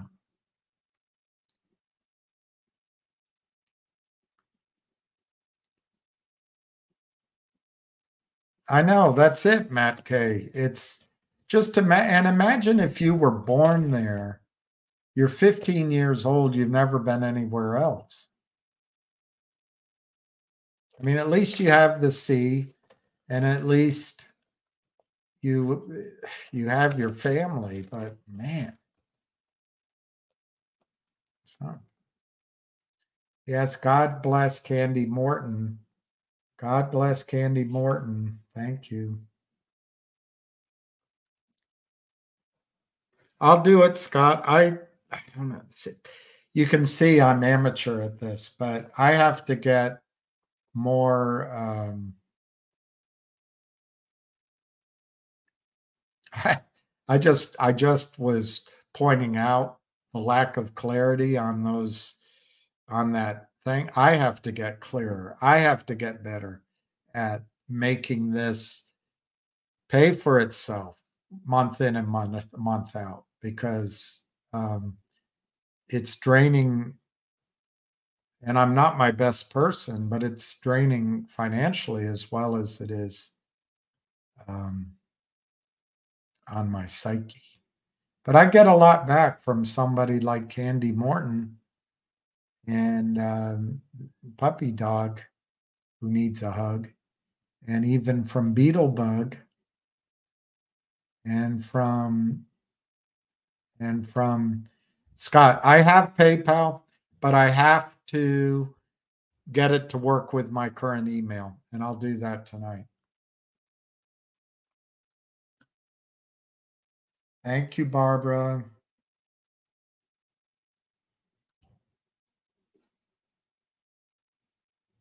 There wasn't anything fundamental that made GTI go to pennies, Nico says, but to dollars, but it happened. That's true. Um, it's the threat of a squeeze, and and if Ham is correct, and I'm inclined to believe him over the apologists. Curt and Seth Kramer, along with their clients, have built up a massive, just like they've done in DBMM or other stories, they've built up these massive uh, counterfeit share positions, which as they come up off the mat and they become valuable, they start squeezing the pocketbook, and that's what that's what ca- causes a, a squeeze. Let me just go up here.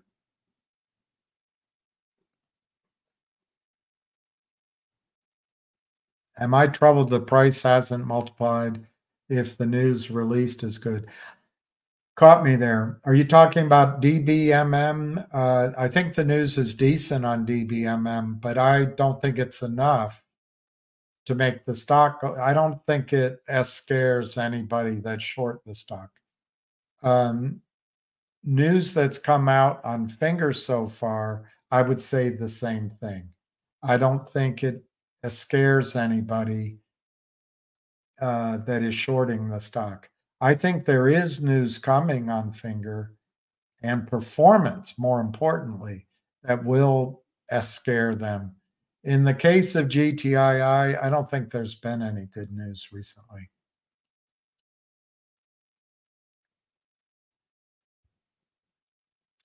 The TLO product um, uh, is not, I'm not a doctor. And I've only read part of this book, which I tend to I intend to read in full. I probably won't highlight it because the gentleman, the doctor, signed it to me, and I don't want to ruin the book that way. But I did study at Beetlebug over the weekend and in the plane in my two plane trips. And uh, let me just see if he talks about it here in this book. Yeah, telomeres, 66 and 67.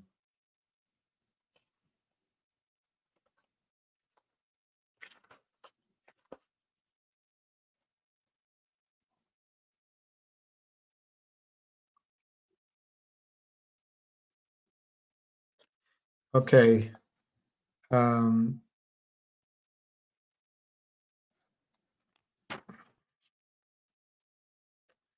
wow, it's just it's so much stuff. Let's take a step back and see the science in action. Your native stem cells are the ones from which all other cells, blood, brain, and more, are derived. Stem cells can become new stem cells by dividing and propagating. Stem cells are maternal because we know that the world is maternal. The, the world is female, not men. I think I think men can look out for their offspring as well. But anyway, stem cells are maternal. They come in and fix things. They achieve their ends by repairing damage in the body, by replacing damaged cells or growing into new ones. This is how all parts of your body heal. when you scrape your knee or have a sunburn, it's not cells from neighboring skin that come into the rescue, it's stem cells, assuming your blood supply is good. This goes for a heart attack, infection, or other internal threats. The proteins that nourish stem cells are called exosomes, if I pronounce that correctly. And they foster growth and help stem cells develop into a new version of whatever's needed heart, muscle, skin, brain, what have you. One key, which I just alluded to, you need healthy blood flow to make this works. Telling the stem cells where to go. And that's what they're finding out in the, they call it Telomir 1, the product. When they directed this for um, osteoarthritis, for inflammation, they found out that this blood flow was having other good effects.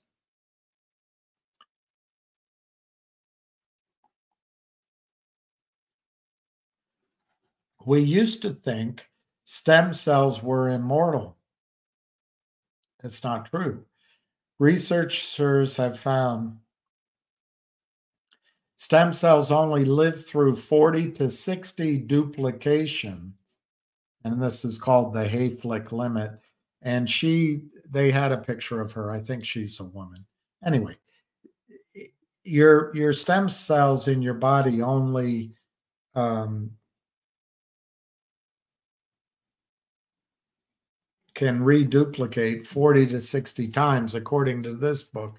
In the meeting i was in they said 70 to 140 times whatever.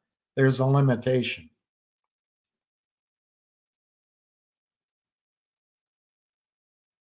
Okay, one indication that you are near death is that your stem cells have too short an end called a telomere to duplicate. So the, these endings are like on the edge of your um, shoestring, that little plastic thing. That's what they compared it to. We repair ourselves over and over again when we're young and to have youthful longevity, we need to replenish our supply of stem cells. That's what this book's about, or at least part of it. But that's what Telomir one is. And the Telomir one product is uh, I don't know that your statement's 100% correct. There may be a stage of FDA approval which it's gone through. I don't know. I'd have to check that. But they are going first, Beetlebug, through lab, lab rat tests. That's for two months, lab rat tests. They're doing that now. They're setting up for six months of laboratory dog tests, beagles, poor beagles. They always use beagles, but they're going to do the beagle test, which should be finished by the end of the year. And then next year, they're going to do human tests. But you are correct. Um, the FDA has to review, review the findings. Um, they haven't seen any severe side effects. In fact, what they've seen are positive effects.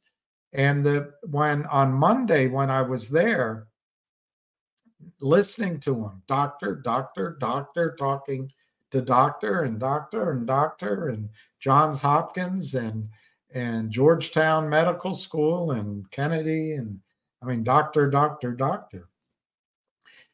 What they found, Beetlebug, Contrary to negative severe effects, they actually found that the telomere, that little shoestring that gets run down on, on your DNA, had grown, had grown by 40%. And so the the point of this book could we reprogram old cells to be young again? Could we rewrite our DNA to guarantee uh, fighting diseases? Is 90 the new 40? The, the, the, it's much more likely, Beetlebug, that this telomere growth is going to cause um, um, moral issues, moral questions, societal questions than any side effects that are severe for humans. The, the example he gave is people go to get stem cells injected in their body. And this has been going on a while. As far as I know, it hasn't had severe uh, side effects, but you you may know more. But you get 8,000 stem cells. This is my memory of the presentation. Well, your your body stem cells to repair a sunburn or to repair repair a cut or repair um, I don't know after a disease or a sickness it's hundreds of thousands, if not millions, of stem cells which need to be put to work. Well, this Telomir one, if it works, and they haven't said, they have not said that they've gotten through human testing yet. They expect that next year. But the excitement, Beetlebug, at the meeting amongst doctors, doctor, doctor, doctor, is this growth in the telomere by 40% implies that each of us, the young and the old, can add 10, 20, 30, 40 years to our lives. And we can add 10, 20, 30 years of youthfulness to our bodies, youthfulness, usefulness, younger. We can become 10, 20, 30 years younger in many of our body's um, uh, capabilities. Why? Because what limits our body's ability to regenerate, as it does in our teens, 20s, and 30s, are the shortening telomeres, if I'm pronouncing it correctly. And this molecule they've created extends the, the telomere, which allows the body to replicate its DNA, well, its stem cells.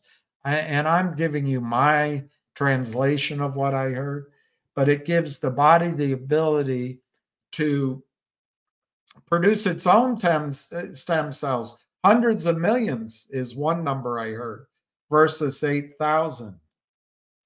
So it's huge, Beetlebug. I don't, I don't see it that way. Of course, the criminals, and I talked to the guy, they're just going to destroy the stock because these criminals don't want to live longer. Let's see where Telomir closed. Yeah, they got it down they got it down two dollars and 38 cents to 560 but that's where we put our society's efforts to these chosen few guys. Mostly men. I don't know any women that are counterfeiting stuff. I think it's mostly these i think it's mostly men who think somehow they walk on water and they deserve to every ceo every new therapy every breakthrough has to be met with negativity and the negativity should be materialized now so these saviors can t- suck out tens to 20s to hundreds of millions of dollars out of the market. So beetlebug we can't a company like this tremendous management tremendous vision can't not implement what could be historic, life changing technology. The criminals have to suck out that money because they're here to save you and me from the potential of not dying when we're 70, but dying when we're 110 or 15, and not living our old age in a home, but living our old age on a tennis court or a golf cart. But this is what we this is what we've done to our world.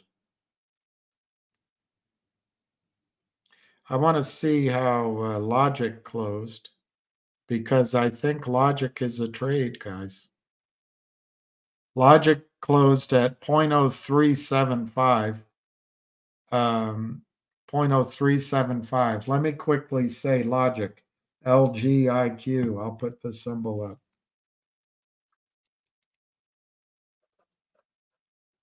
A trade. A trade, not an addiction, a trade.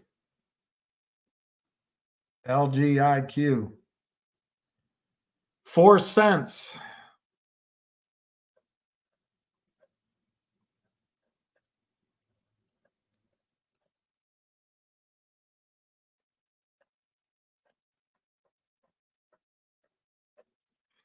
Right now it's four cents. I I think it can go to a range of 20 cents to 40 cents in a reverse merger, which has been announced all along. They they they failed. Remember Abri Advisors, who's who have done well over a hundred SPACs and D-SPACs, great guys, good as their word. They somehow uh, thought it best to leave Logiq with no money uh, when they despacked. So Logiq did not get its final, a number of things accomplished.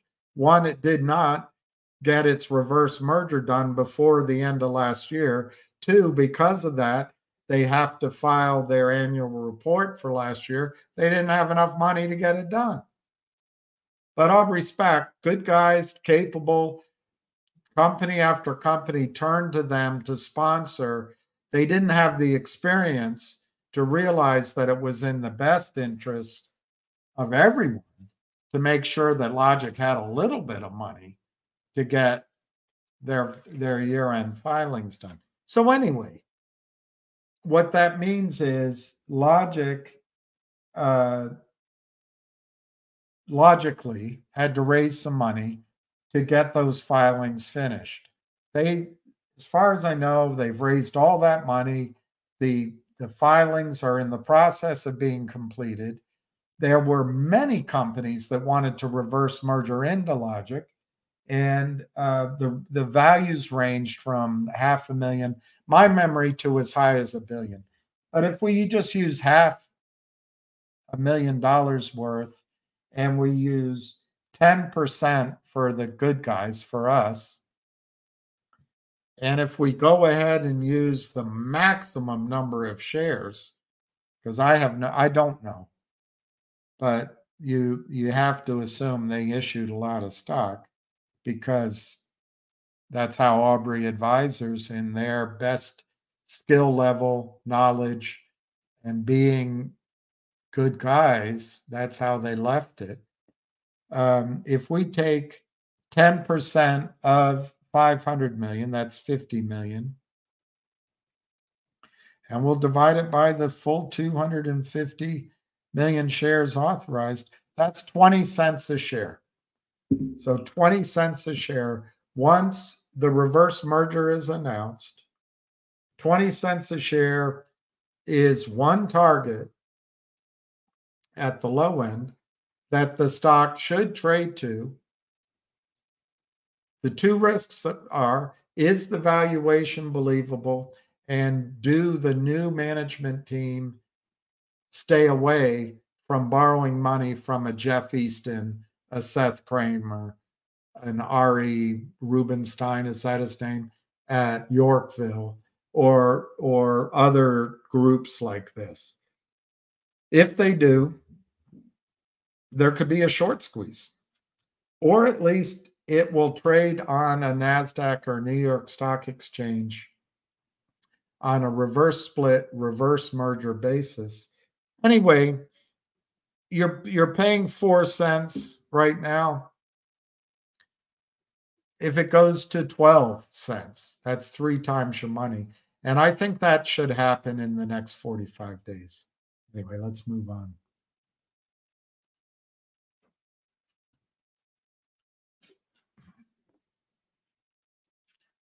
P- I like the cut of your jib, PS71.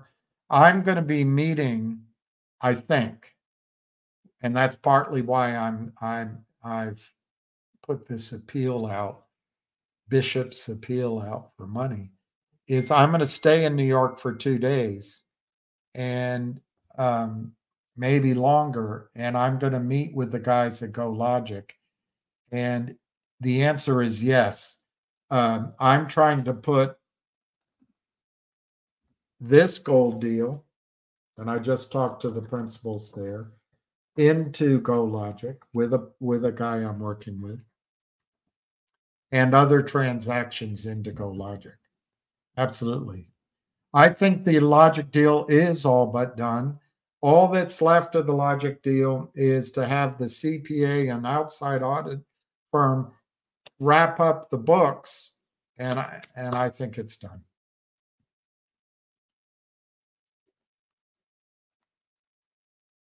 Um, I have tried to contact Brent.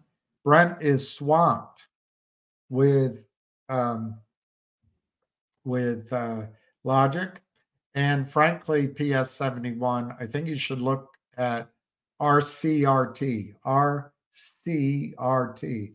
That is the GoLogiq is spinning off its uh, assets in part of its assets into the reverse merger RCRT. It's been so long since that's been discussed and announced.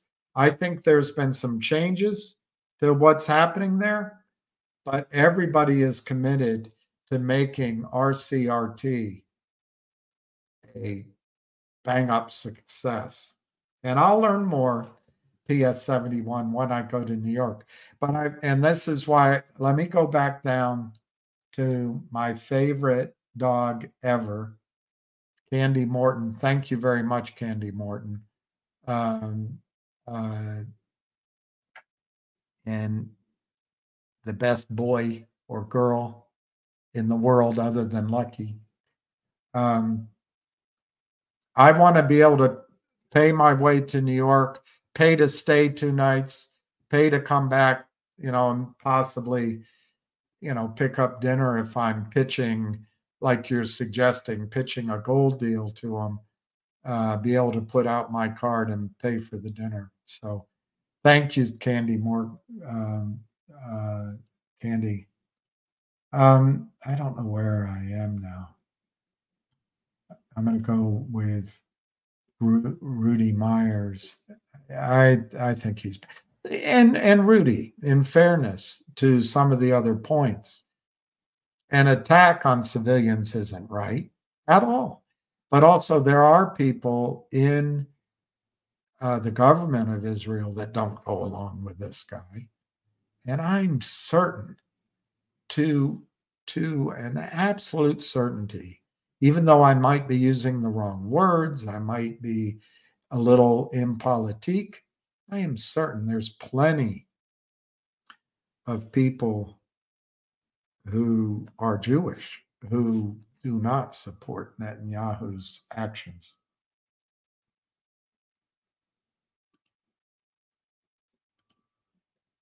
Um,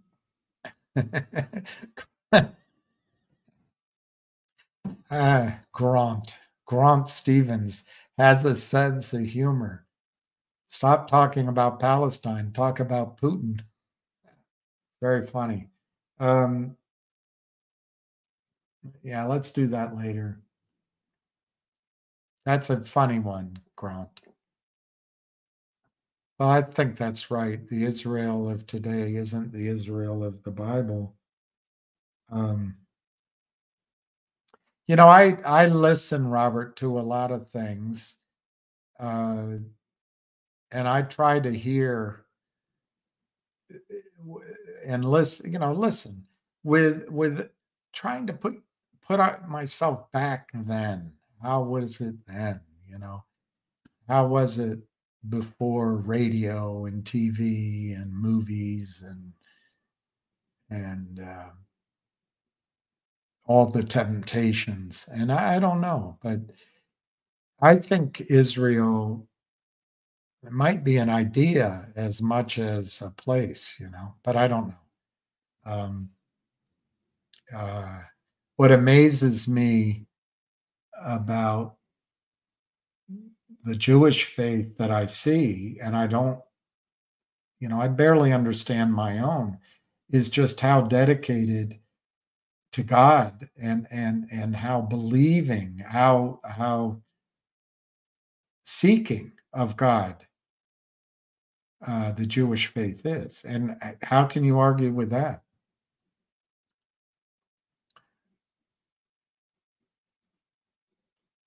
God did give the land to Israel in the Bible. Um,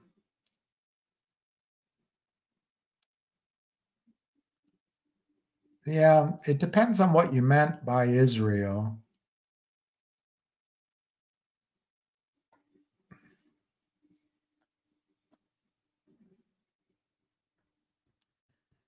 And God gave the, eh, well, not in any written books. But God gave North America to the Indians, I guess. I don't know.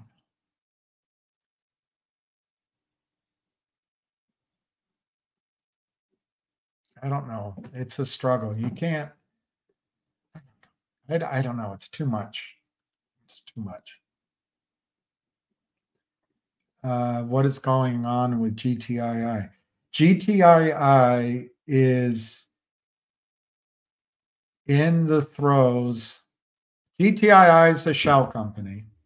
It also is a company set up as an incubator for other companies where they get stock as that company comes in. Two years later or so, that stock is floated and GTI retains a uh, percentage in in lieu of the original position. GTII acquired gold company, medical company, tried to acquire a legal company, acquired a uh, a uh, mining, uh, you know, bit uh, a coin mining beyond blockchain company. It acquired an educational company.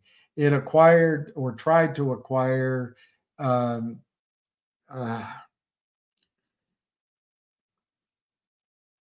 uh, Shiba Inu coins. It it tried to join upstream. It issued uh, a warrant as a restricted dividend. Um, uh, it they paid back the entirety of the note that they borrowed from the Kramers and Power Up Lending.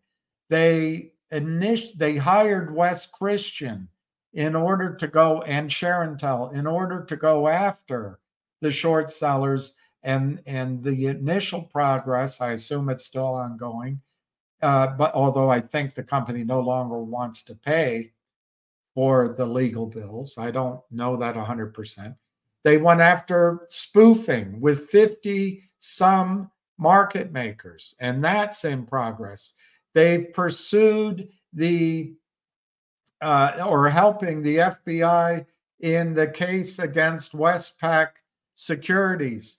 Uh, they have their own allegations with the FBI that they're pursuing and other uh, Department of Justice. Uh, all of this they've done. Much of it was countermanded by FINRA and the SEC and just our own actions counteracted.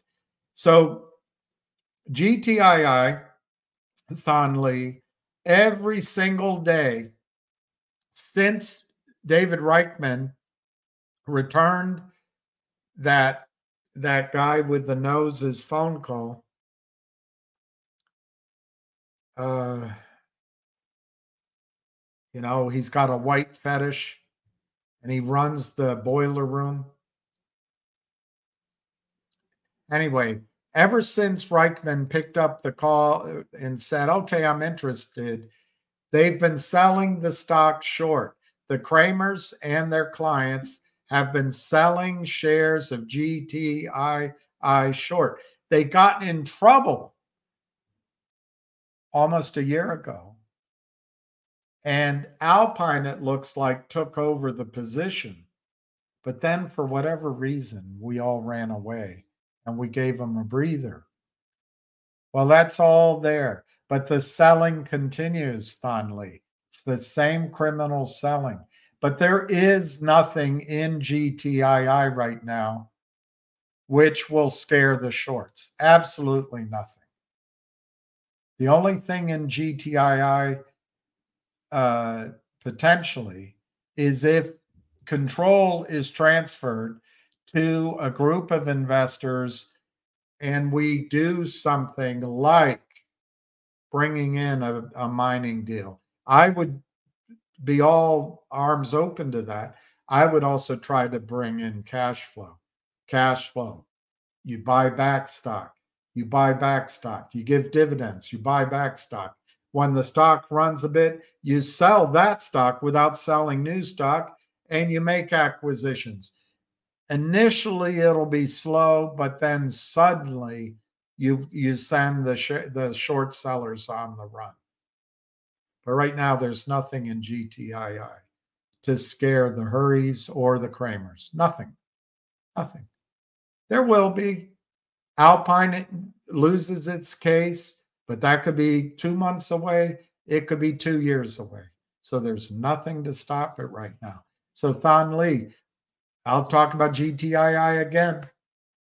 Uh, uh, I told people from October, this is 1218 I told people, why not sell some or all of your GTII, lock in your tax loss, and buy it back in in 31 days.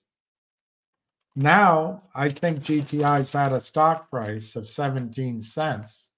I can't get my dividends. Um, it's getting to a price range, Thonley, where I think accumulating and buying might make more sense in preparation for the potential of a short squeeze. But I see no evidence of nothing, if I can use bad grammar, poor grammar. I see no evidence of nothing that'll scare scare the shorts right now. So Thonley, I expect further selling from the criminals of GTII.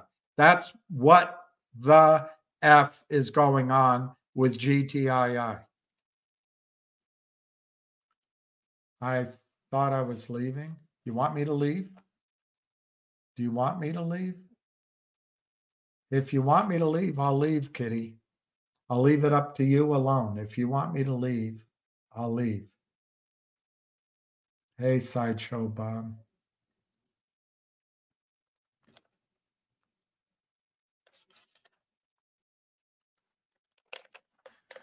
Well, I met uh, Kitty's Never Died when I was in London and then in the Middle East. I met one of the clients of one of my friends uh, was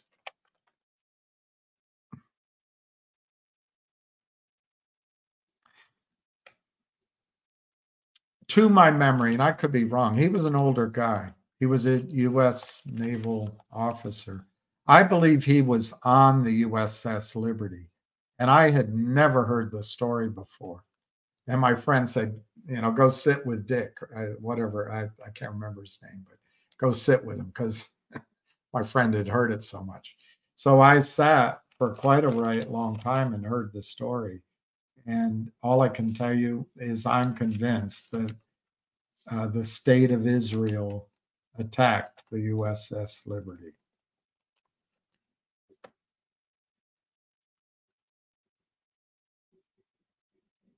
It's Jewish land. So that means they should expel all Christians, all Catholics, all non believers, all Arabs, all Turks, all French. Is that it? I don't know. I don't know. They are not Palestinians, but Arabs. The Jews built their synagogue earlier than the Muslims. The Muslims built uh, on top of the Jewish temple, which was destroyed by the Romans, I guess. I don't know, DBMMMMM. Um, as you know, you you left out the Crusades, which are confusing to me. I've tried to study it a bit, but the cat I'm a Catholic. The Catholic Church, I think, was wrong, but the Pope called Christendom to go save the Holy Land. And as best as I can tell, the Crusaders went down through the land route and they won the first crusade and sometime in the second or third they also went over the mediterranean i think they won the first crusade they established their uh, forts and i think largely in the gaza strip and elsewhere god's acre um, it's hard to remember all the different places. I think the second crusade was more of a draw, if not partially a loss, because I think that's when Richard left and when the the king uh, with the with the leprosy was killed. But anyway, then there was the third crusade, and I think that's where Muhammad, not Muhammad, um, not Muhammad, Saladin won a decisive battle because of the stubbornness and the stupidity of that French crusader or was he belt anyway he was arrogant and he went out into the desert and he didn't have water and they all died and i think saladin was gracious and respectful in the second crusade, but in the third crusade, he slaughtered everybody. And I don't know how that relates to building the mosque, but my guess is the mosque was built after Saladin won Jerusalem. Now, you know, because you've studied it, that it's a holy place for all three faiths. This was where Christ uh, carried the cross. It's where he was resurrected in the Christian faith and other things. It's where, as you say, the Jews built their synagogue, uh, have the Wailing Wall, and probably others and they're awaiting the Messiah. But it's where Muhammad was lifted to heaven on a horse. I think that horse was called. Um, uh, I think that horse was called Saddam, if I if you pronounce it correctly. not the sole of a foot, but I think it was. I, or no, no, no. It was called. Uh, sorry, I think that horse was called Barack. I anyway, you would know, but anyway, the the the the site on top of their their that synagogue is where in earlier times, I guess 600 AD, Muhammad was lifted to heaven. So you, you can argue who built what on top of what, but I wonder who started it all. And now you, I'll lose you completely. If you listen to Zecharia Sitchin, who um, in his Hebrew Bible, it's not called Bible, right? His Hebrew Bible class raised his hand and asked a question and was was kicked out by the by the um, uh, uh, teacher. I'm trying to think what a what a Jewish uh, uh religious leader is called. Uh, my brain. Anyway, he was kicking and I had to talk to the mother. Well, Zecharia Sitchin believes that th- the reason all of those big rocks are there, which no human, whether Jewish, Muslim, Roman, or Christian, could put in place. He thinks they were put in place by um, the Anunnaki as a landing place. Now, Graham Hancock doesn't believe it has to be that dramatic. It could just be that it was built pre flood by a civilization that existed on the on our earth prior to the flood. My point is we don't know who built what's underneath the the the rocks underneath the synagogue that was torn down two or three times. We don't know what was underneath the dome of the rock. We don't know who put it there. So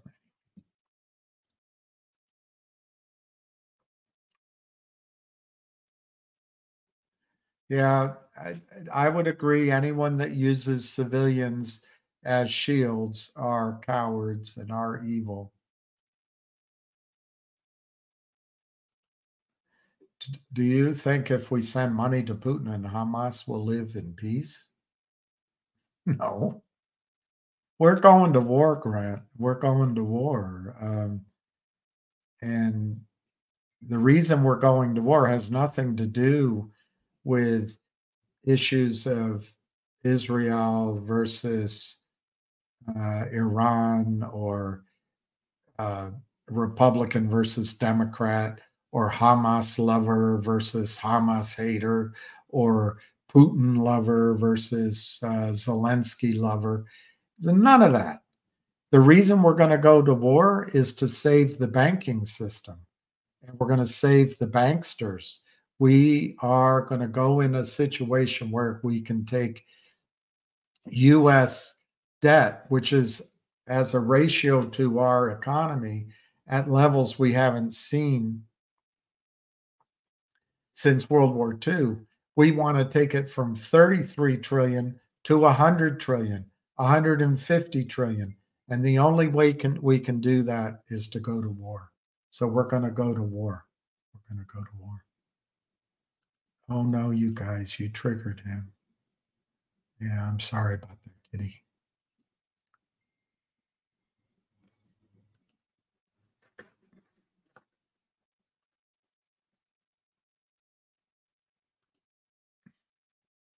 I already answered that too much. Yes, I would do that, Vin. I would do that. I have made that clear and uh, I would do it with a group of people, of course. But yeah, I'd do that. And uh, one thing I can tell you within the rules, because you have to follow the rules, transparency would be number one. Number two, I guess, would be a little bit of gamemanship. So you wouldn't maybe the, you, you wouldn't have any. You'd have to transparency would be guided by that. But I'll tell you what, every single drive would be able would be to make the criminals pay with their pocketbook for what they did. Hey Donna, you guys are still talking about this, I guess.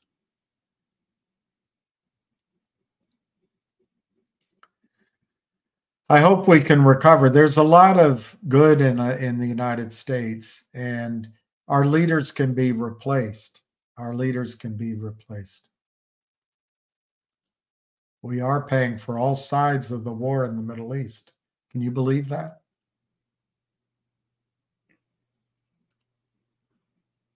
All right, let's see what this. Your current, I, I agree with Davio.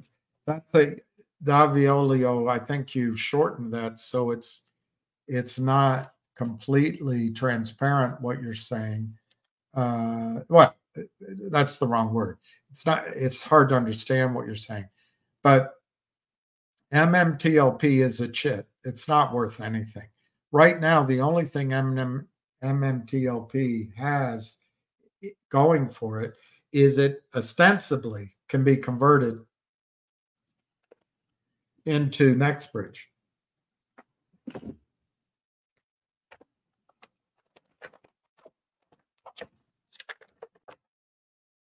And I got mine converted. So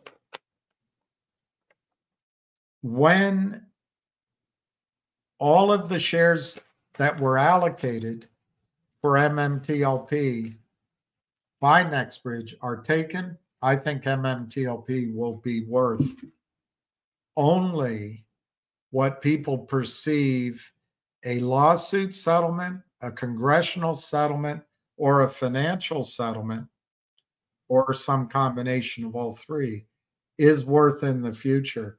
And I'm concerned that nobody's going to give that much value until there's clarity, which could be years and years from now. One thing that could change that is if we give to uh, NextBridge and McCabe the ability to go before the, the, the financial firms and say, hey, we we issued all the shares, so anything in your account is fake and by the way, because of the progress we've made at NextBridge, here's an independent report. Each share is worth, I'll make it up, $600 a share. So you go, you go settle that up with your investors.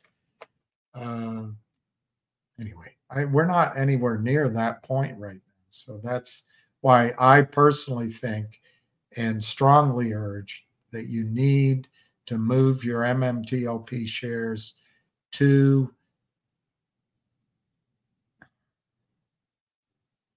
well, it's called AST originally, but now it's called Kawasaki or something.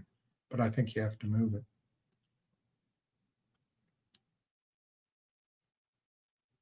Those citizens are on skiing trips. Well, and that guy, that guy, uh, Zelensky, he's as rich as they come. Uh, news from Texas. Yeah, I, I, went down. It was a great trip. Um, I'll show you some pictures. But I asked people, I talked to people, I have to follow up. But I decided today, Colonel, to go live. I'm going to go every day this week and I'll ask for PayPal. I need to raise money. I need to replenish my my operating capital, both for trips and what I've already spent, computer, you know, all that stuff. But I have to anyway, Colonel, I have to follow up with the people I talked with, and I will. My bottom line perception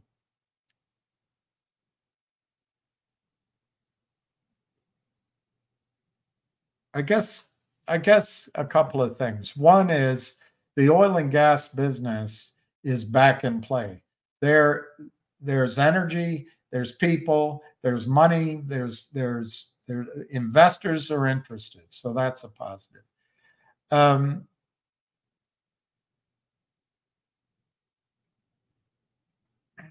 I got to be careful how I say this. The Orogrande project is not well known. So that you could look as a negative, but on the other hand, that's how it's been. This these geologists, I think it's one, but I was told today it's brothers. But anyway, um, begins with an M. Masterson, Masterson, who came up with the theory, to my memory, of the Delaware Basin, part of the whole big Permian play, um, that's that's worked brilliantly, is also the one that has come up with this idea. If you look at the map uh, of the, I wonder if I have that picture here for you. I don't know if I do. I, I think I printed it out. Oh, I do. I do. I do, I do, I do.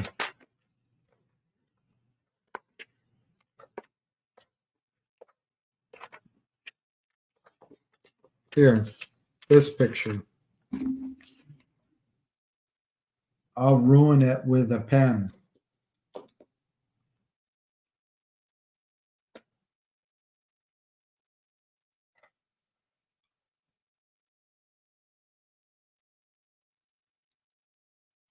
ruining this picture. And I'll do, I'll use another color.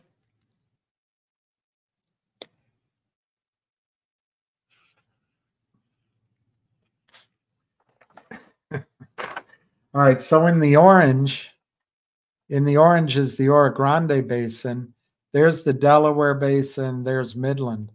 But the the geologist Masterson came up with the theory of the Delaware Basin. And if you notice something, this was a shallow basin that over eons, water, life settled. And if you believe it's based on um, plant life and dinosaurs and silt and all that, it built up and it built up and it built up. Well, the this is all the Permian age, and I'm I'm not particularly much of a geologist or anything, but it's the early Permian. So they call it the Permian Basin. And this area, and then this area, is what revolutionized recently Texas oil production. It really started with Mitchell Energy, uh, George Mitchell, and he had this idea that you could go in and with these tight sands um, drill and then frack the sands to get more production out of the sands both in oil and gas also drilling horizontally and he's his company drilled under the um, uh, Dallas, I think DFW, which is where I was, or it was one of the airports. But this, that they nearly went bankrupt a couple of times, and he had an engineer in his back office who came up, I think, with water as a fracking agent, but I could be wrong on that. But they came up on something that made it work. And all of a sudden, the shale revolution came and the tight sands revolution, which is drilling horizontally, fracking, and sucking the oil and gas out more quickly. Not really finding more oil and gas, just sucking it out more quickly. The other thing that changed it, by the way, is the Railroad Commission changed the the uh, um, laws or the rules to that you could you could produce more than one zone at a time. That also it may in change the economics of these wells. But anyway, the Mastersons Delaware based and worked tremendously. And this is where Exxon bought the Pioneer at $30 a barrel proven. Well, this is Masterson's idea over here, the Orogrande. I mean, I drew the circle that way, but it really comes down like this. And and um, Torchlight originally reserved 134,000 acres. Here it is. Um, recoverable reserves 2.3 the middle is 3.7 the high side is 5 billion recoverable reserves well anyway uh colonel the the one thing one aspect of it is I say, have you ever heard of the Orogrande? And they go, huh? But the other aspect of it is when I use the number that I've seen on Twitter of 11 billion barrels and 13 billion barrels, I got two reactions to that. One, that's huge. Like, wow, that is big. and two, it's not really believable. So what my takeaway on the positive side is if you came anywhere near like two, three, four, five billion barrels recoverable, that would be enormous. On the negative side, I wouldn't count on 11 or 13 billion without a lot more drilling and a lot more proving up. And I guess my third point is in terms of visibility and and acceptance by the oil and gas patch, they need to drill a lot more. They need to move a lot. They got a lot more to go. So, our thing we can do is to move our shares from uh, our brokerage firms to AST. Give Greg McCabe the ability to go in and and rattle the cages. On the other hand, once that's accomplished, I think he'll have more success raising money to prove up our reserves. Um, hey, Frank. Uh, I don't know if I just gave you information. Um, I think the best news I've heard on MMTLP is as it relates to Donald Trump, another thing you can't talk about, but DJT and Devin Nunes seeking information. Ham is going to be meeting with those lawyers tomorrow. Guess what? All the work that you guys have done on MMTLP, I think is going to lead to Devin Nunes talking to Congress.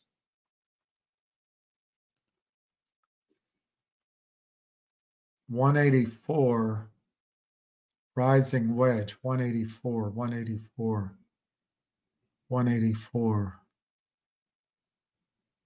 I don't know what stock one is at 184. Hey, MB. Hey, uh, I learned, yeah, I tried to answer that. Um, what I learned, Sandman, is if you could put a new field discovery of multiple billions of barrels on the map, it's big. And I take that as a good thing because I believe there's multi billion barrels recoverable. On the negative side, a lot of people don't know about the Orogrande. But so that was a positive. Um, I did not learn a lot about southern Louisiana on that trip, but I intend to follow up on it this week and over over the course of the next days. Um, I'm gonna go to the finger events at the end of the week. That's why I, I went on this trip, and um, I just realized I can't travel that way on fumes. So I, I I'm trying to, I'm going to try to raise money both for that, keep this little operation going. I'd like to buy a new computer and improve on it, and and I want to travel to London too, where a lot of my contacts are. So I'm anyway. Uh, yeah, it was a very good trip.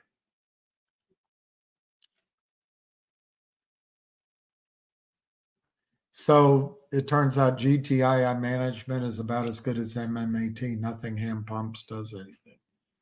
Well, I disagree with you on a couple of things. GTII went from 20 cents to $9. In, in retrospect, and a lot of you guys out there did sell. In retrospect, we should have been selling seven, eight, nine dollars and gotten out.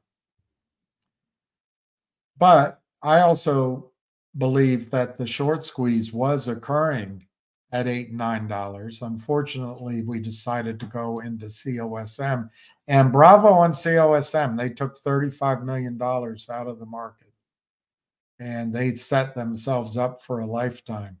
I think they paid for it. And I think the shorts paid for it as well. And I think they colluded, in my judgment, with the shorts. But wow, they, they got a lot of money out of the market. And and I think people with accounts overseas made a lot of money on that trade. But it stopped the squeeze, Bojangle, in GTII, in my judgment. Can I prove it? No. But in, in retrospect, that looks like that was the time to do it.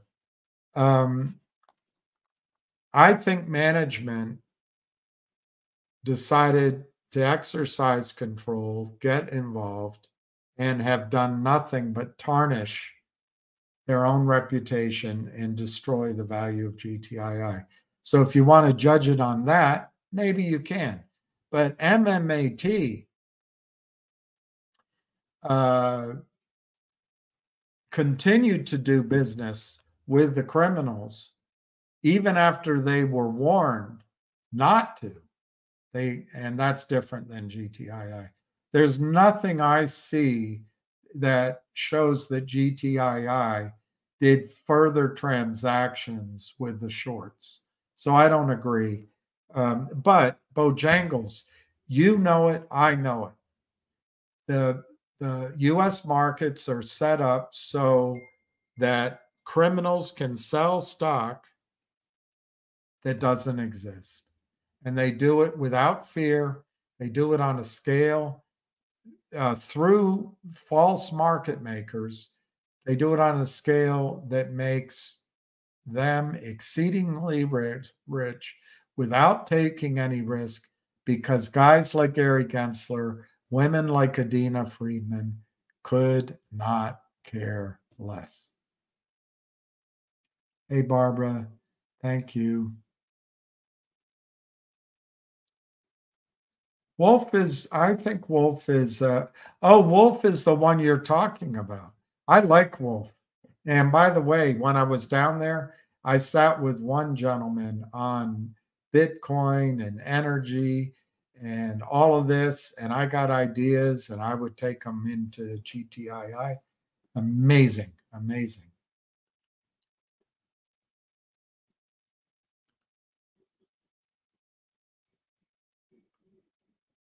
DCA, yeah, yeah. I walked through National. Oh my gosh, it's so big now, kiddies. I don't know if you've been there, but I've used Delta, which is the far end of the new wing, and there's a Dunkin' there.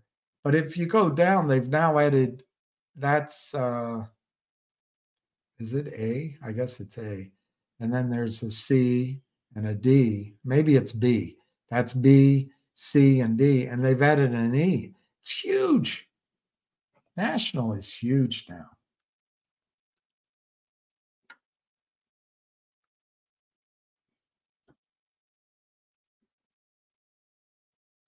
All right, uh, Beetlebug. Um, I'll put you down. You have to email me. You have to email me. I'm not going to talk about it tonight because I'm I'm tired um, I'll do it. I'll do it tomorrow.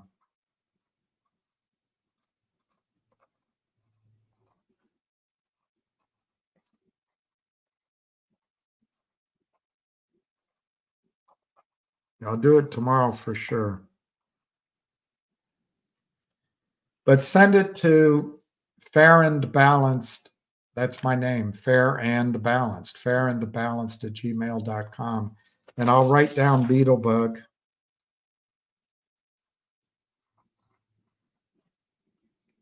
if it's right, and there it's not without risk, but if it's right, you're paying a dollar for an ounce of gold. and I can't beat that anywhere.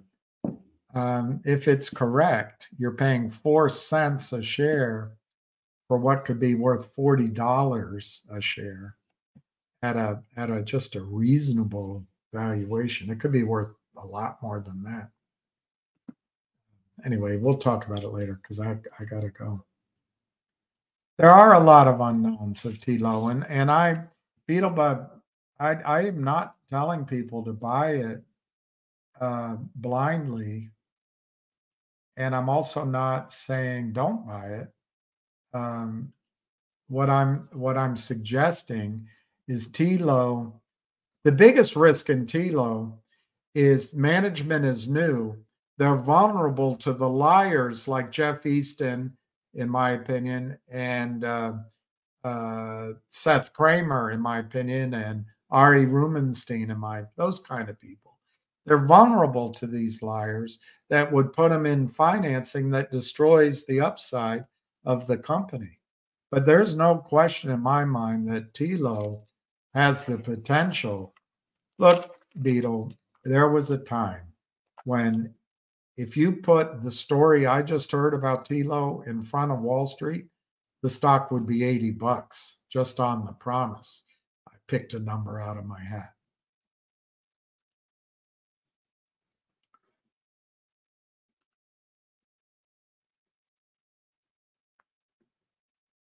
I think Wolf is a great buy.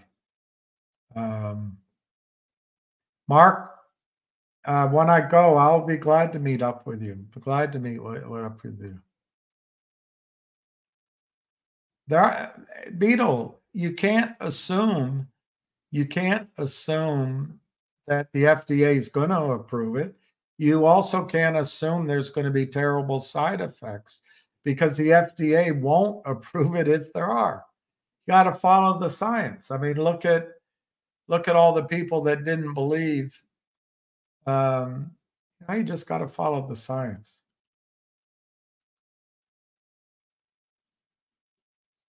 I don't agree, Beetlebug. I don't agree with you. I think it is truly groundbreaking, but they admitted they've got to go through the testing of the rats for two months, the dogs for six months, and then human trials next year. And they're not limited just to the idea that they can extend life. The, the original target of this molecule was to uh, attack inflammation. Just inflammation alone would be a success. But anyway, uh, they're not saying anything that you should buy now and that overnight it's going to be. No, there's a process that's in place uh, and and the risk is the criminals get a hold of the process by issuing a toxic financing. That is a risk, and so I would only look at TLO like I would look at Northwest Bio, like I would look at maybe DBMM, like I would look at several companies. Accumulate, accumulate, accumulate. Trade some of the others. Take 10% of the profits for silver and the rest of the some of the profits for accumulation.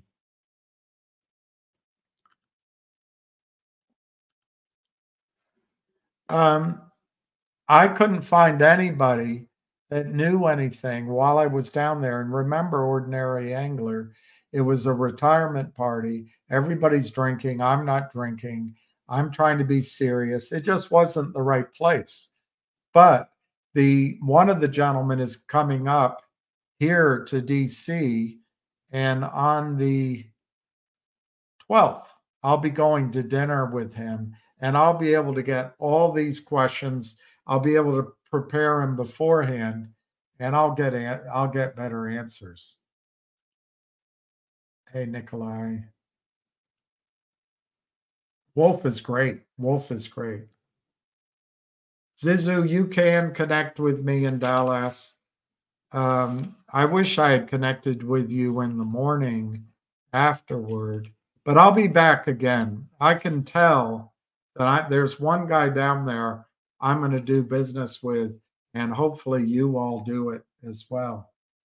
All right, I'm going back down to the bottom, and I have to end this pretty soon. Hey, John Croissant. My chat is scrambled and not in real time. Well, I was going back S word, that's for sure. And I do want to improve my computer. I, I Lion, I just want to move forward. I've been in this. I've been asked not to, John. I've been asked not to, but that doesn't that doesn't mean anything at all. And uh, uh,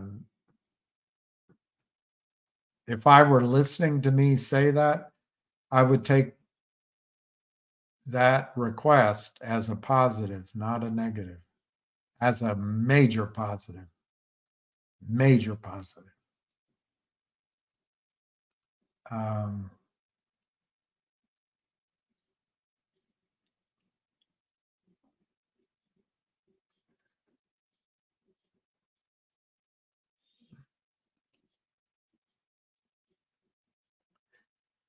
yeah, I'm gonna reach out, call Richard. I, maybe today, but it might be tomorrow, and I'm I'm gonna see if I can join his lawsuit, and, or a lawsuit, start one against uh, for my shares.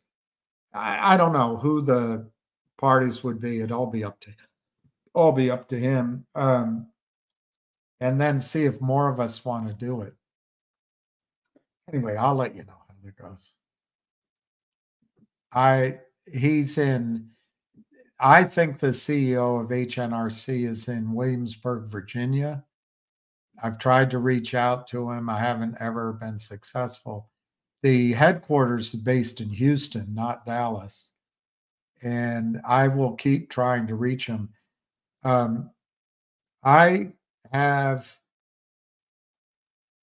you know, on this, it, HNRC was two and a half cents right there, two and a half cents.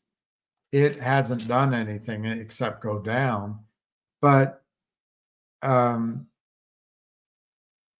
the uh, Frank Kristan had an interview. He hasn't had one since, where in the body of the interview he talked about distributing for as a cash dividend the proceeds from his sale of non-core assets which was roughly 15 cents a share at that time. It looks like he's issued more shares, so it wouldn't be 15 cents a share. He said that basically twice in the interview, but then in the question and answers, he implied that it hadn't been approved yet and the dividend might be stock. He said that it would be done in the fourth quarter. Well, now we're in the second quarter. So I'm a little confused as why the dividend hasn't come yet. It could be he announced at the beginning of last year that he had entered into a financing for $10 million over a year ago. Is that financing with a toxic convertible group? Because that would make sense. That group would keep selling stock, selling stock that doesn't exist, and then give it to the company. And then cross that position. That could be the case, but I haven't found any evidence of it. No filings, nothing. Um, uh, it also could be that whoever that banker was said, We want some of that dividend to get our deal done. I don't know. But for some reason, he did not issue the dividend in the fourth quarter of last year. He did not issue it in the first quarter. Now, my view is that it doesn't mean he won't issue a dividend. What I think it means is it's not going to be 15 cents. And it's probably going to be a lot less than 15 cents, maybe five cents. I don't know. I do think it'll be cash or some part of it. So the stock's trading at two and a half cents and or at less actually let me see where it's trading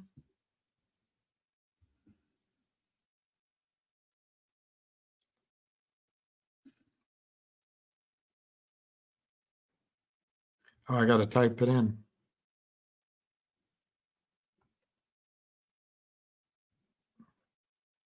Darn it.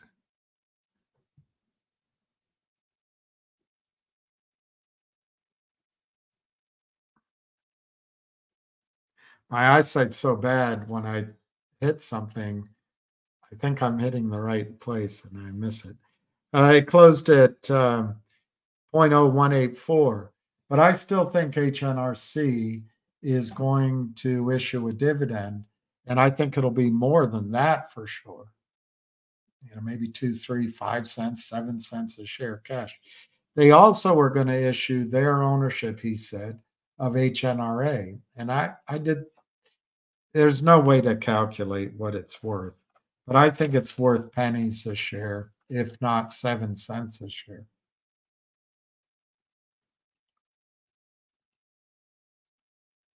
So I'm hanging on to HNRC. I'd like to buy more if I could. Where has the money gone that GTII has reportedly spent? Do we know where the source of GTII funding comes from?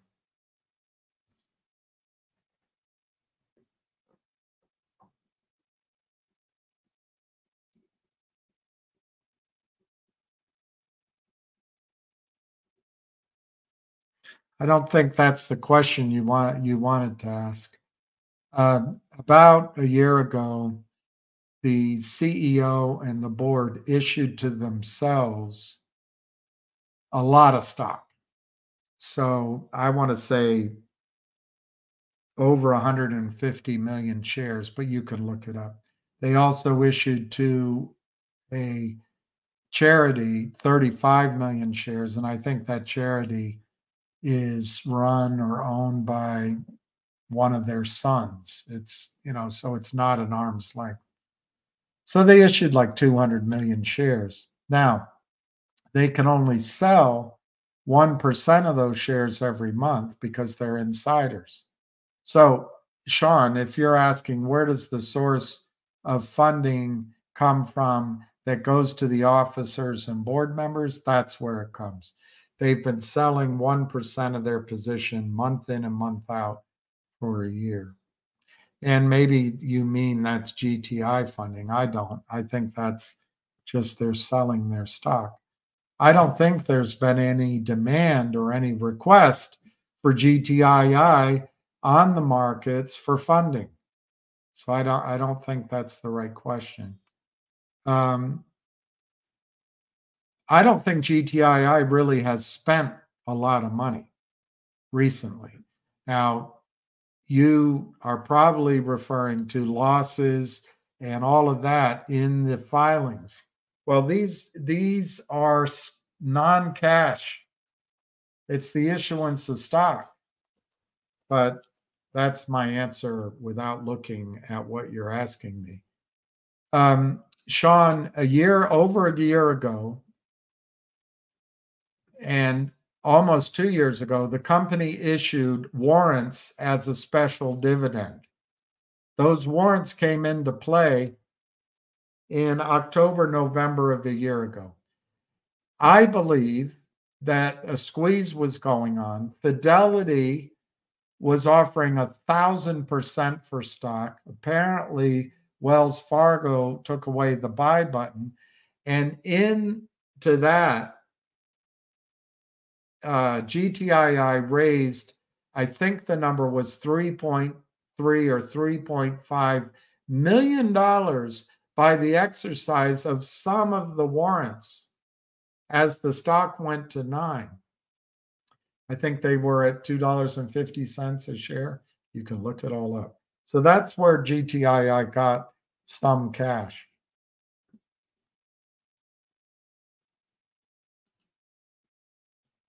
Ah, interesting. Shiba Inu is in is getting to a new cycle. 0.00002. That's interesting. Bob Barker. Hey, Dos Equis.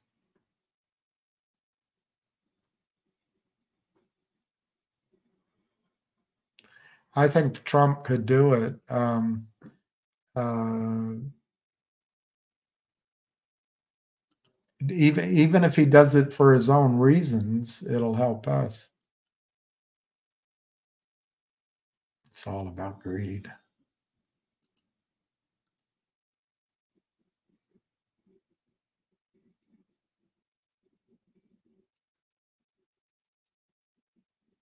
Well, that's a good point, Daly. I, am not, I don't want to be premature about it at all. And I'm not suggesting jumping.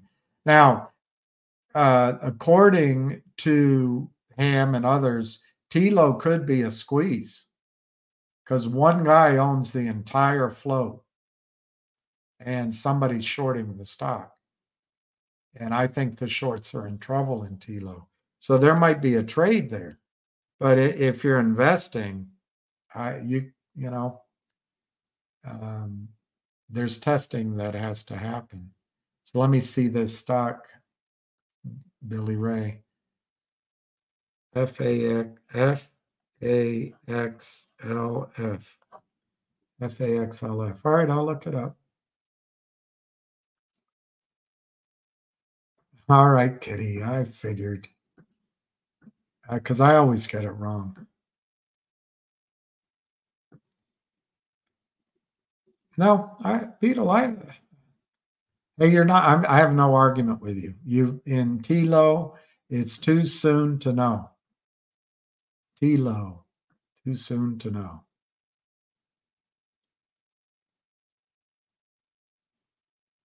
Robinhood is full of S H Y T E. But anyway, you can believe them if you want. Uh, but right now, until we move all of our shares, it's hard to prove. And and that's just how it goes. Uh, I don't think they will join blockchain. I don't buy that either. I happen to agree with them on that, but we'll see.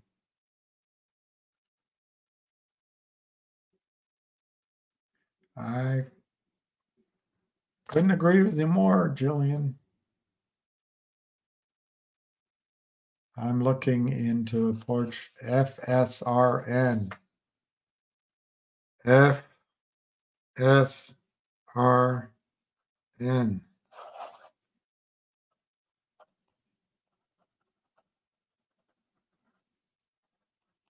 All right, Lion. I'm going to save it for tomorrow because I want to sign off. Because I got to go walk my dog. TLO success at the whim of FDA. Sure. But they can't argue with peer reviewed results. We're a long way, we're a year away from that. But as the rat results show up, they're going to announce. And by the way, Beetle, I think they could have done a better job of announcing what they announced. But you're right. But the magnitude becomes so big that as stock trades up,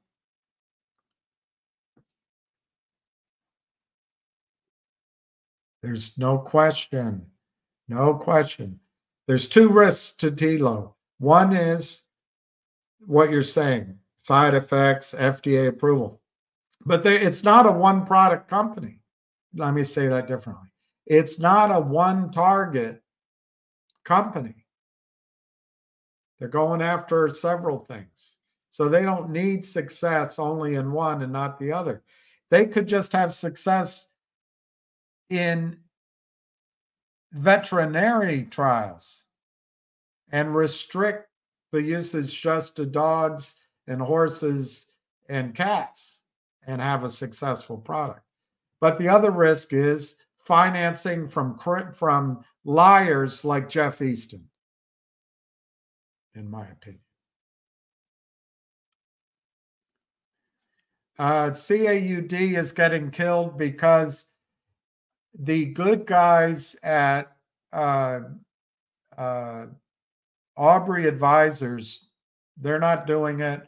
Polar isn't doing it. Um, uh, Brownstone isn't doing it. And uh, there's one other group there. I can't remember right now. None of them are doing it. They've all done SPACs before and de-SPACed, and they have the highest standards. And but somebody is, I think, has sold over a hundred million shares, uh, a dollar's worth. Sorry, a dollar's worth of CAUD, and they continue to do it. So RW, that is continuing to happen. And one of the results of that RW the completely disastrous DSPAC of CAUD. Abri advisors, in their wisdom, after doing 100 DSPACs, they decided to leave CAUD with no capital. They raised $5 million. Half of it went to lawyers, half of it went to financial advisors. They left the company with no money. CAUD's plan was to revert was to merge into different companies. Well, you I'll leave it to you if that was the best strategy, but I know I've have it on good authority that Abri advisors great people, uh, their word is their bond, and they know what they're doing.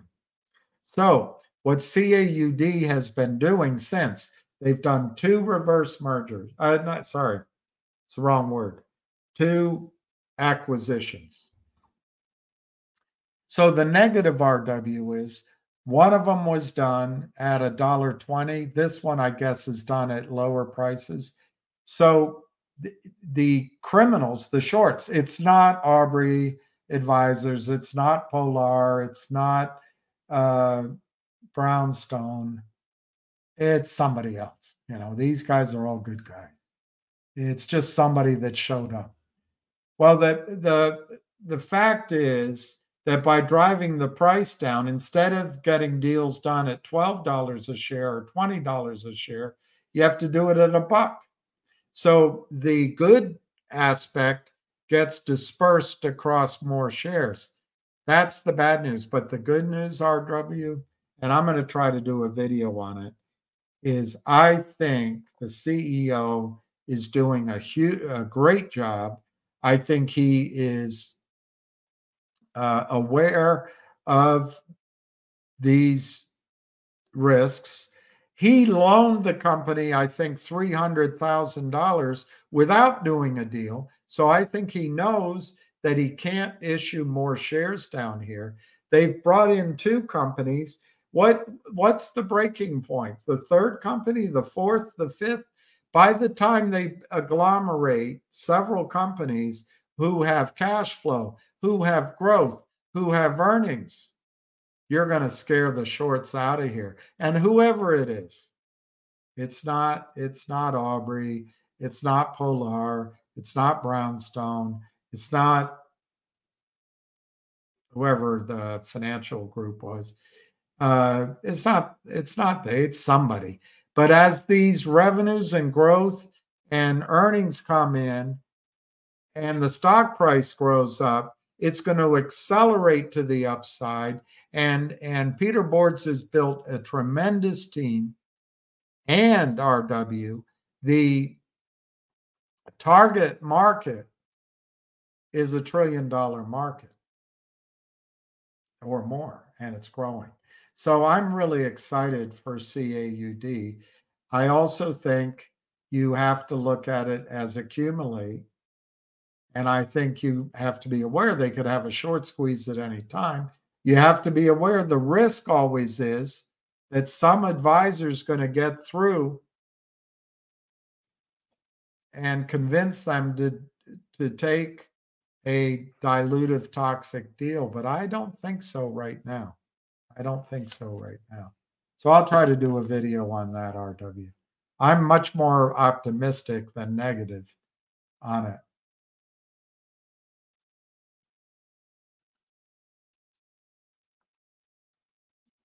Lions, Lions looking for subscribers. Join him. Join him. He's very good.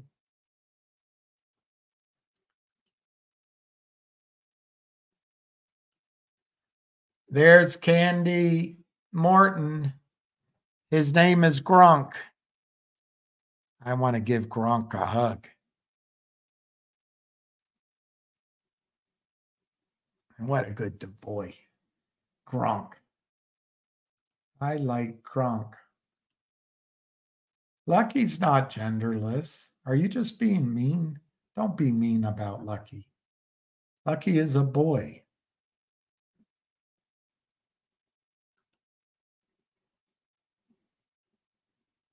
Fisker.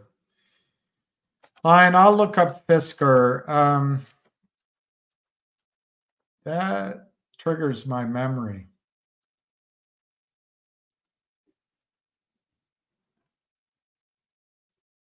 Lou, I think if you're still here, sorry, I just saw this. Um, I got really skeptical about my 1260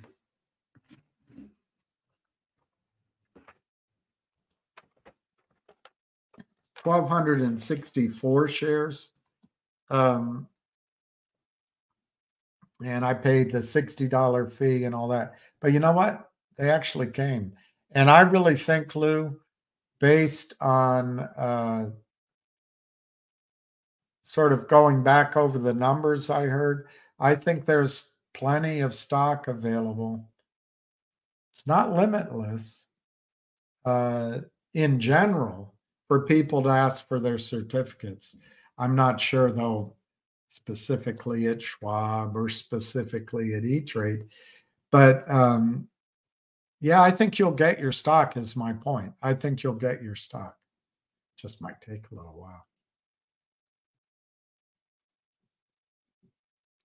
Well, Candy, that was one of the questions. See, you're very smart.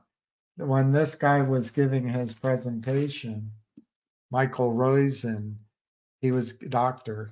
He was giving, he said, one of the issues, what if you live to 90 and you can work like you're 60 should you still collect Social Security? Should you be on retirement? See, Candy, you're very smart. Very, very smart.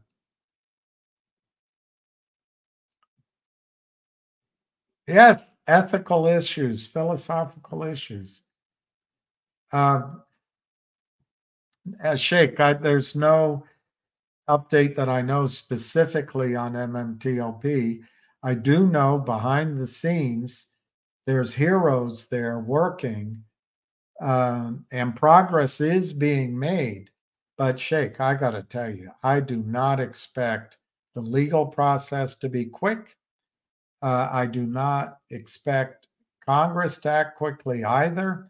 The best hope I see is this Donald Trump pressure, DJT. Amazing. Um,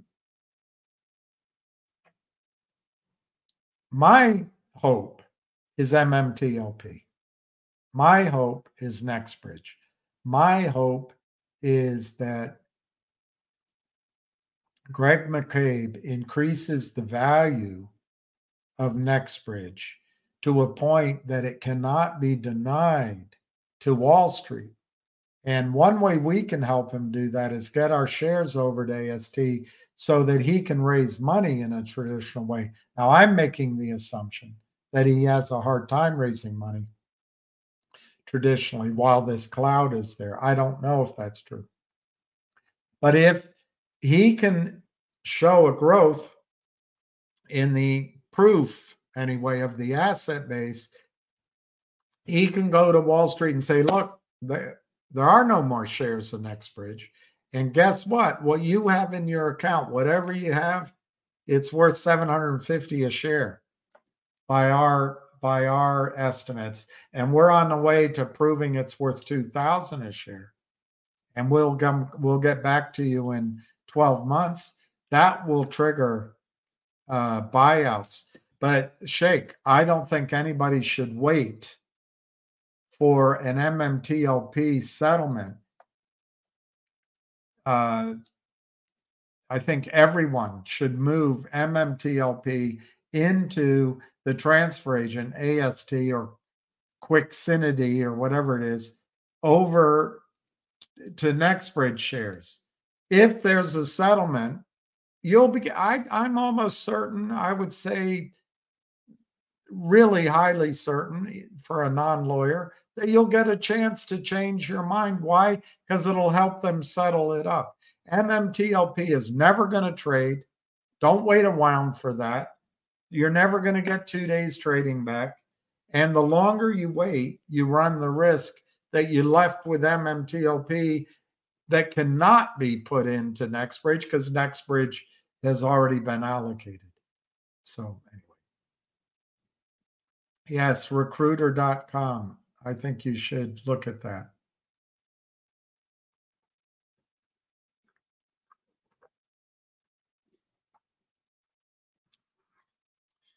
Um, DBMM is pretty smart. Let me just tell DBMM I don't I don't want to um, I don't want to spend forever on this, but but DBMM is pretty smart.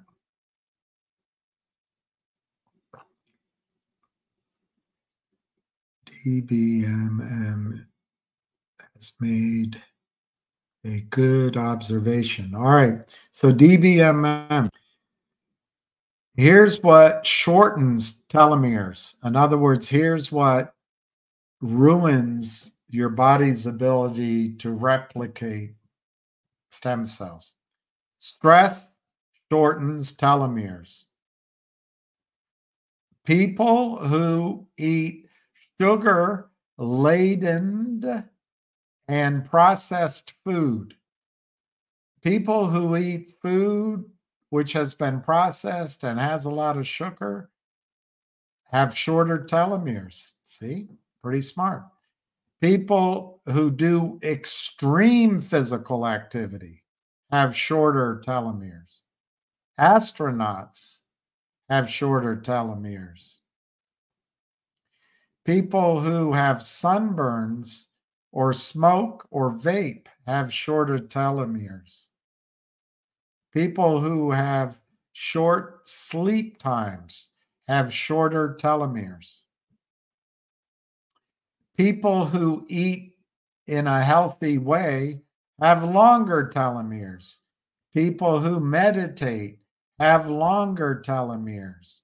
People who have friends have longer telomeres. People who do moderate, moderate physical activity have longer telomeres. People who sleep six and a half to eight and a half hours a night have longer telomeres. People who regularly have sex have longer telomeres.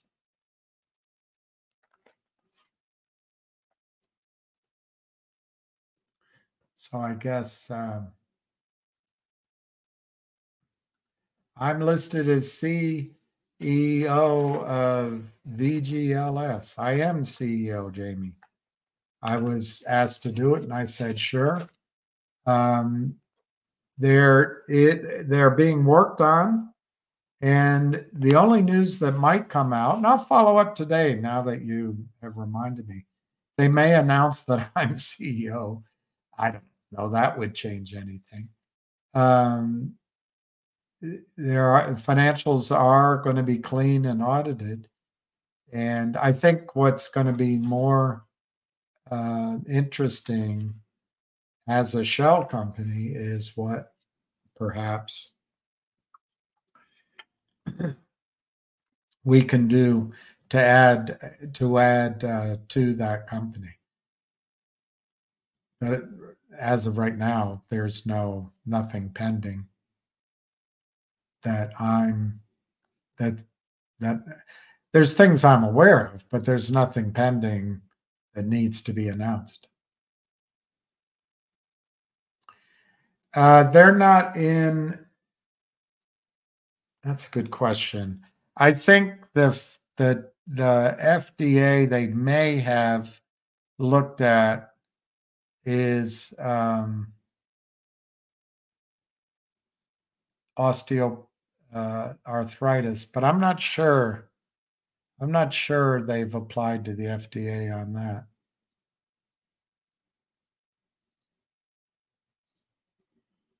Let me just see if there's any information.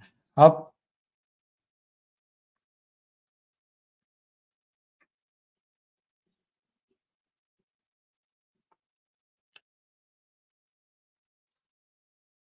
No, I don't think there's any FDA. Um,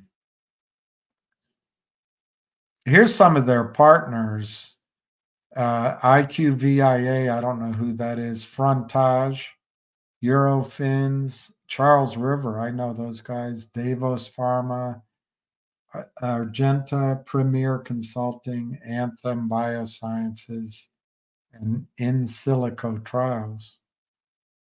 Just the osteoarthritis market opportunity is seven and a half billion for them.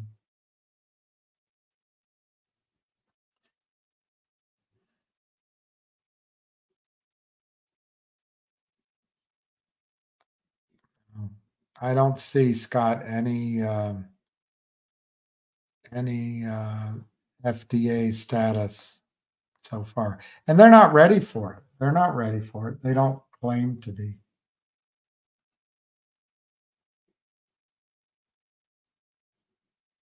Thank you, Candy and Gronk.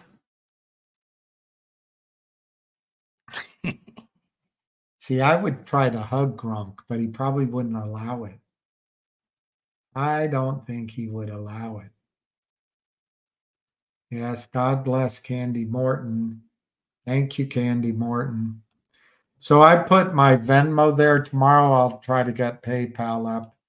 I'm trying to reach a target to stabilize some things and to improve what I'm offering here with you, but also to ha- I want to have an impact. I like you guys. I've been waiting for some of these things to happen. I don't think the only one I think's gonna uh, uh, uh, move uh, with news is finger, and the one that the other gentleman asked me, why am I not talking about it? That one. The, and and I do think there's a trade in Logiq, a trade, 2x, 3x, 4x, maybe 5x, but that kind of trade. But I've been waiting for all that, but it's time to act. So anyway, let me um, let me go down here. Thank you very much, Candy. I'm thank you, Candy. I'll tell him. Did I get my email? Red Pepper. I didn't look yet. I've written red pepper down. I'm going to write it down again. Uh, Mark Mark guessed my problem. It's getting into the email. But um, I have contacted several of you, and I'm going to follow. Um, um, all right, John. Uh, uh, I'll write John Crossan down. That's on the um, on the lawsuit. Uh, and I wrote down your gold mine, Billy Ray. Uh, I will get into all that. Um, oddly, that trip I just took to test Texas took a lot out of me, and uh, and it was just this morning when I woke up that I decided that I'm going to ask. I don't know where to turn. I'm asking who I know and can, but I'm going to ask, I'm going to make this better. We are going to win. We are going to have a win, and we're going to make sure that a group of us uh, are financial pillars of success. Hi, Sunil. All right, I'm going to sign off. Um, and we'll and I'll talk to um, Ham. Uh, I wish everybody peace, love, and happiness. And I really do. I don't mean to offend anybody. When we start talking about war, we get into the particulars that I don't back down. But my overall point is it's going to change our financial world. That's really the point of all of this. Um, I'm not trying to to uh, uh, upset anybody, and and I really want to say a prayer for all the people caught up in uh, the, the the children caught up in war, suffering, and starvation around the world. And um, pray for world peace. And I'll say it out loud. I'd like to pray for Lou Bravo and his family, and uh, pray for Jenny L, and pray for um, the strength of uh, Busy Brands and Junk Savvy, and Anna, Queen of Trades, and Ham. Pray for his son, and it, uh, the list is endless. I thank all of you for watching. I really do appreciate it, and uh, I I'm going to endeavor to do better. So um, next time I'll stay with you, Zizu. Next time I will. Zizu, I stayed at Zaza. Do you know where Zaza is, Zizu? That's where I stayed. And I they have my record from when I used to stay there. Um, but as I got home, I was like, gee whiz, I could have just stayed at the airport, you know? All right, Lou, I'm going to sign off. Catch everybody down the highway.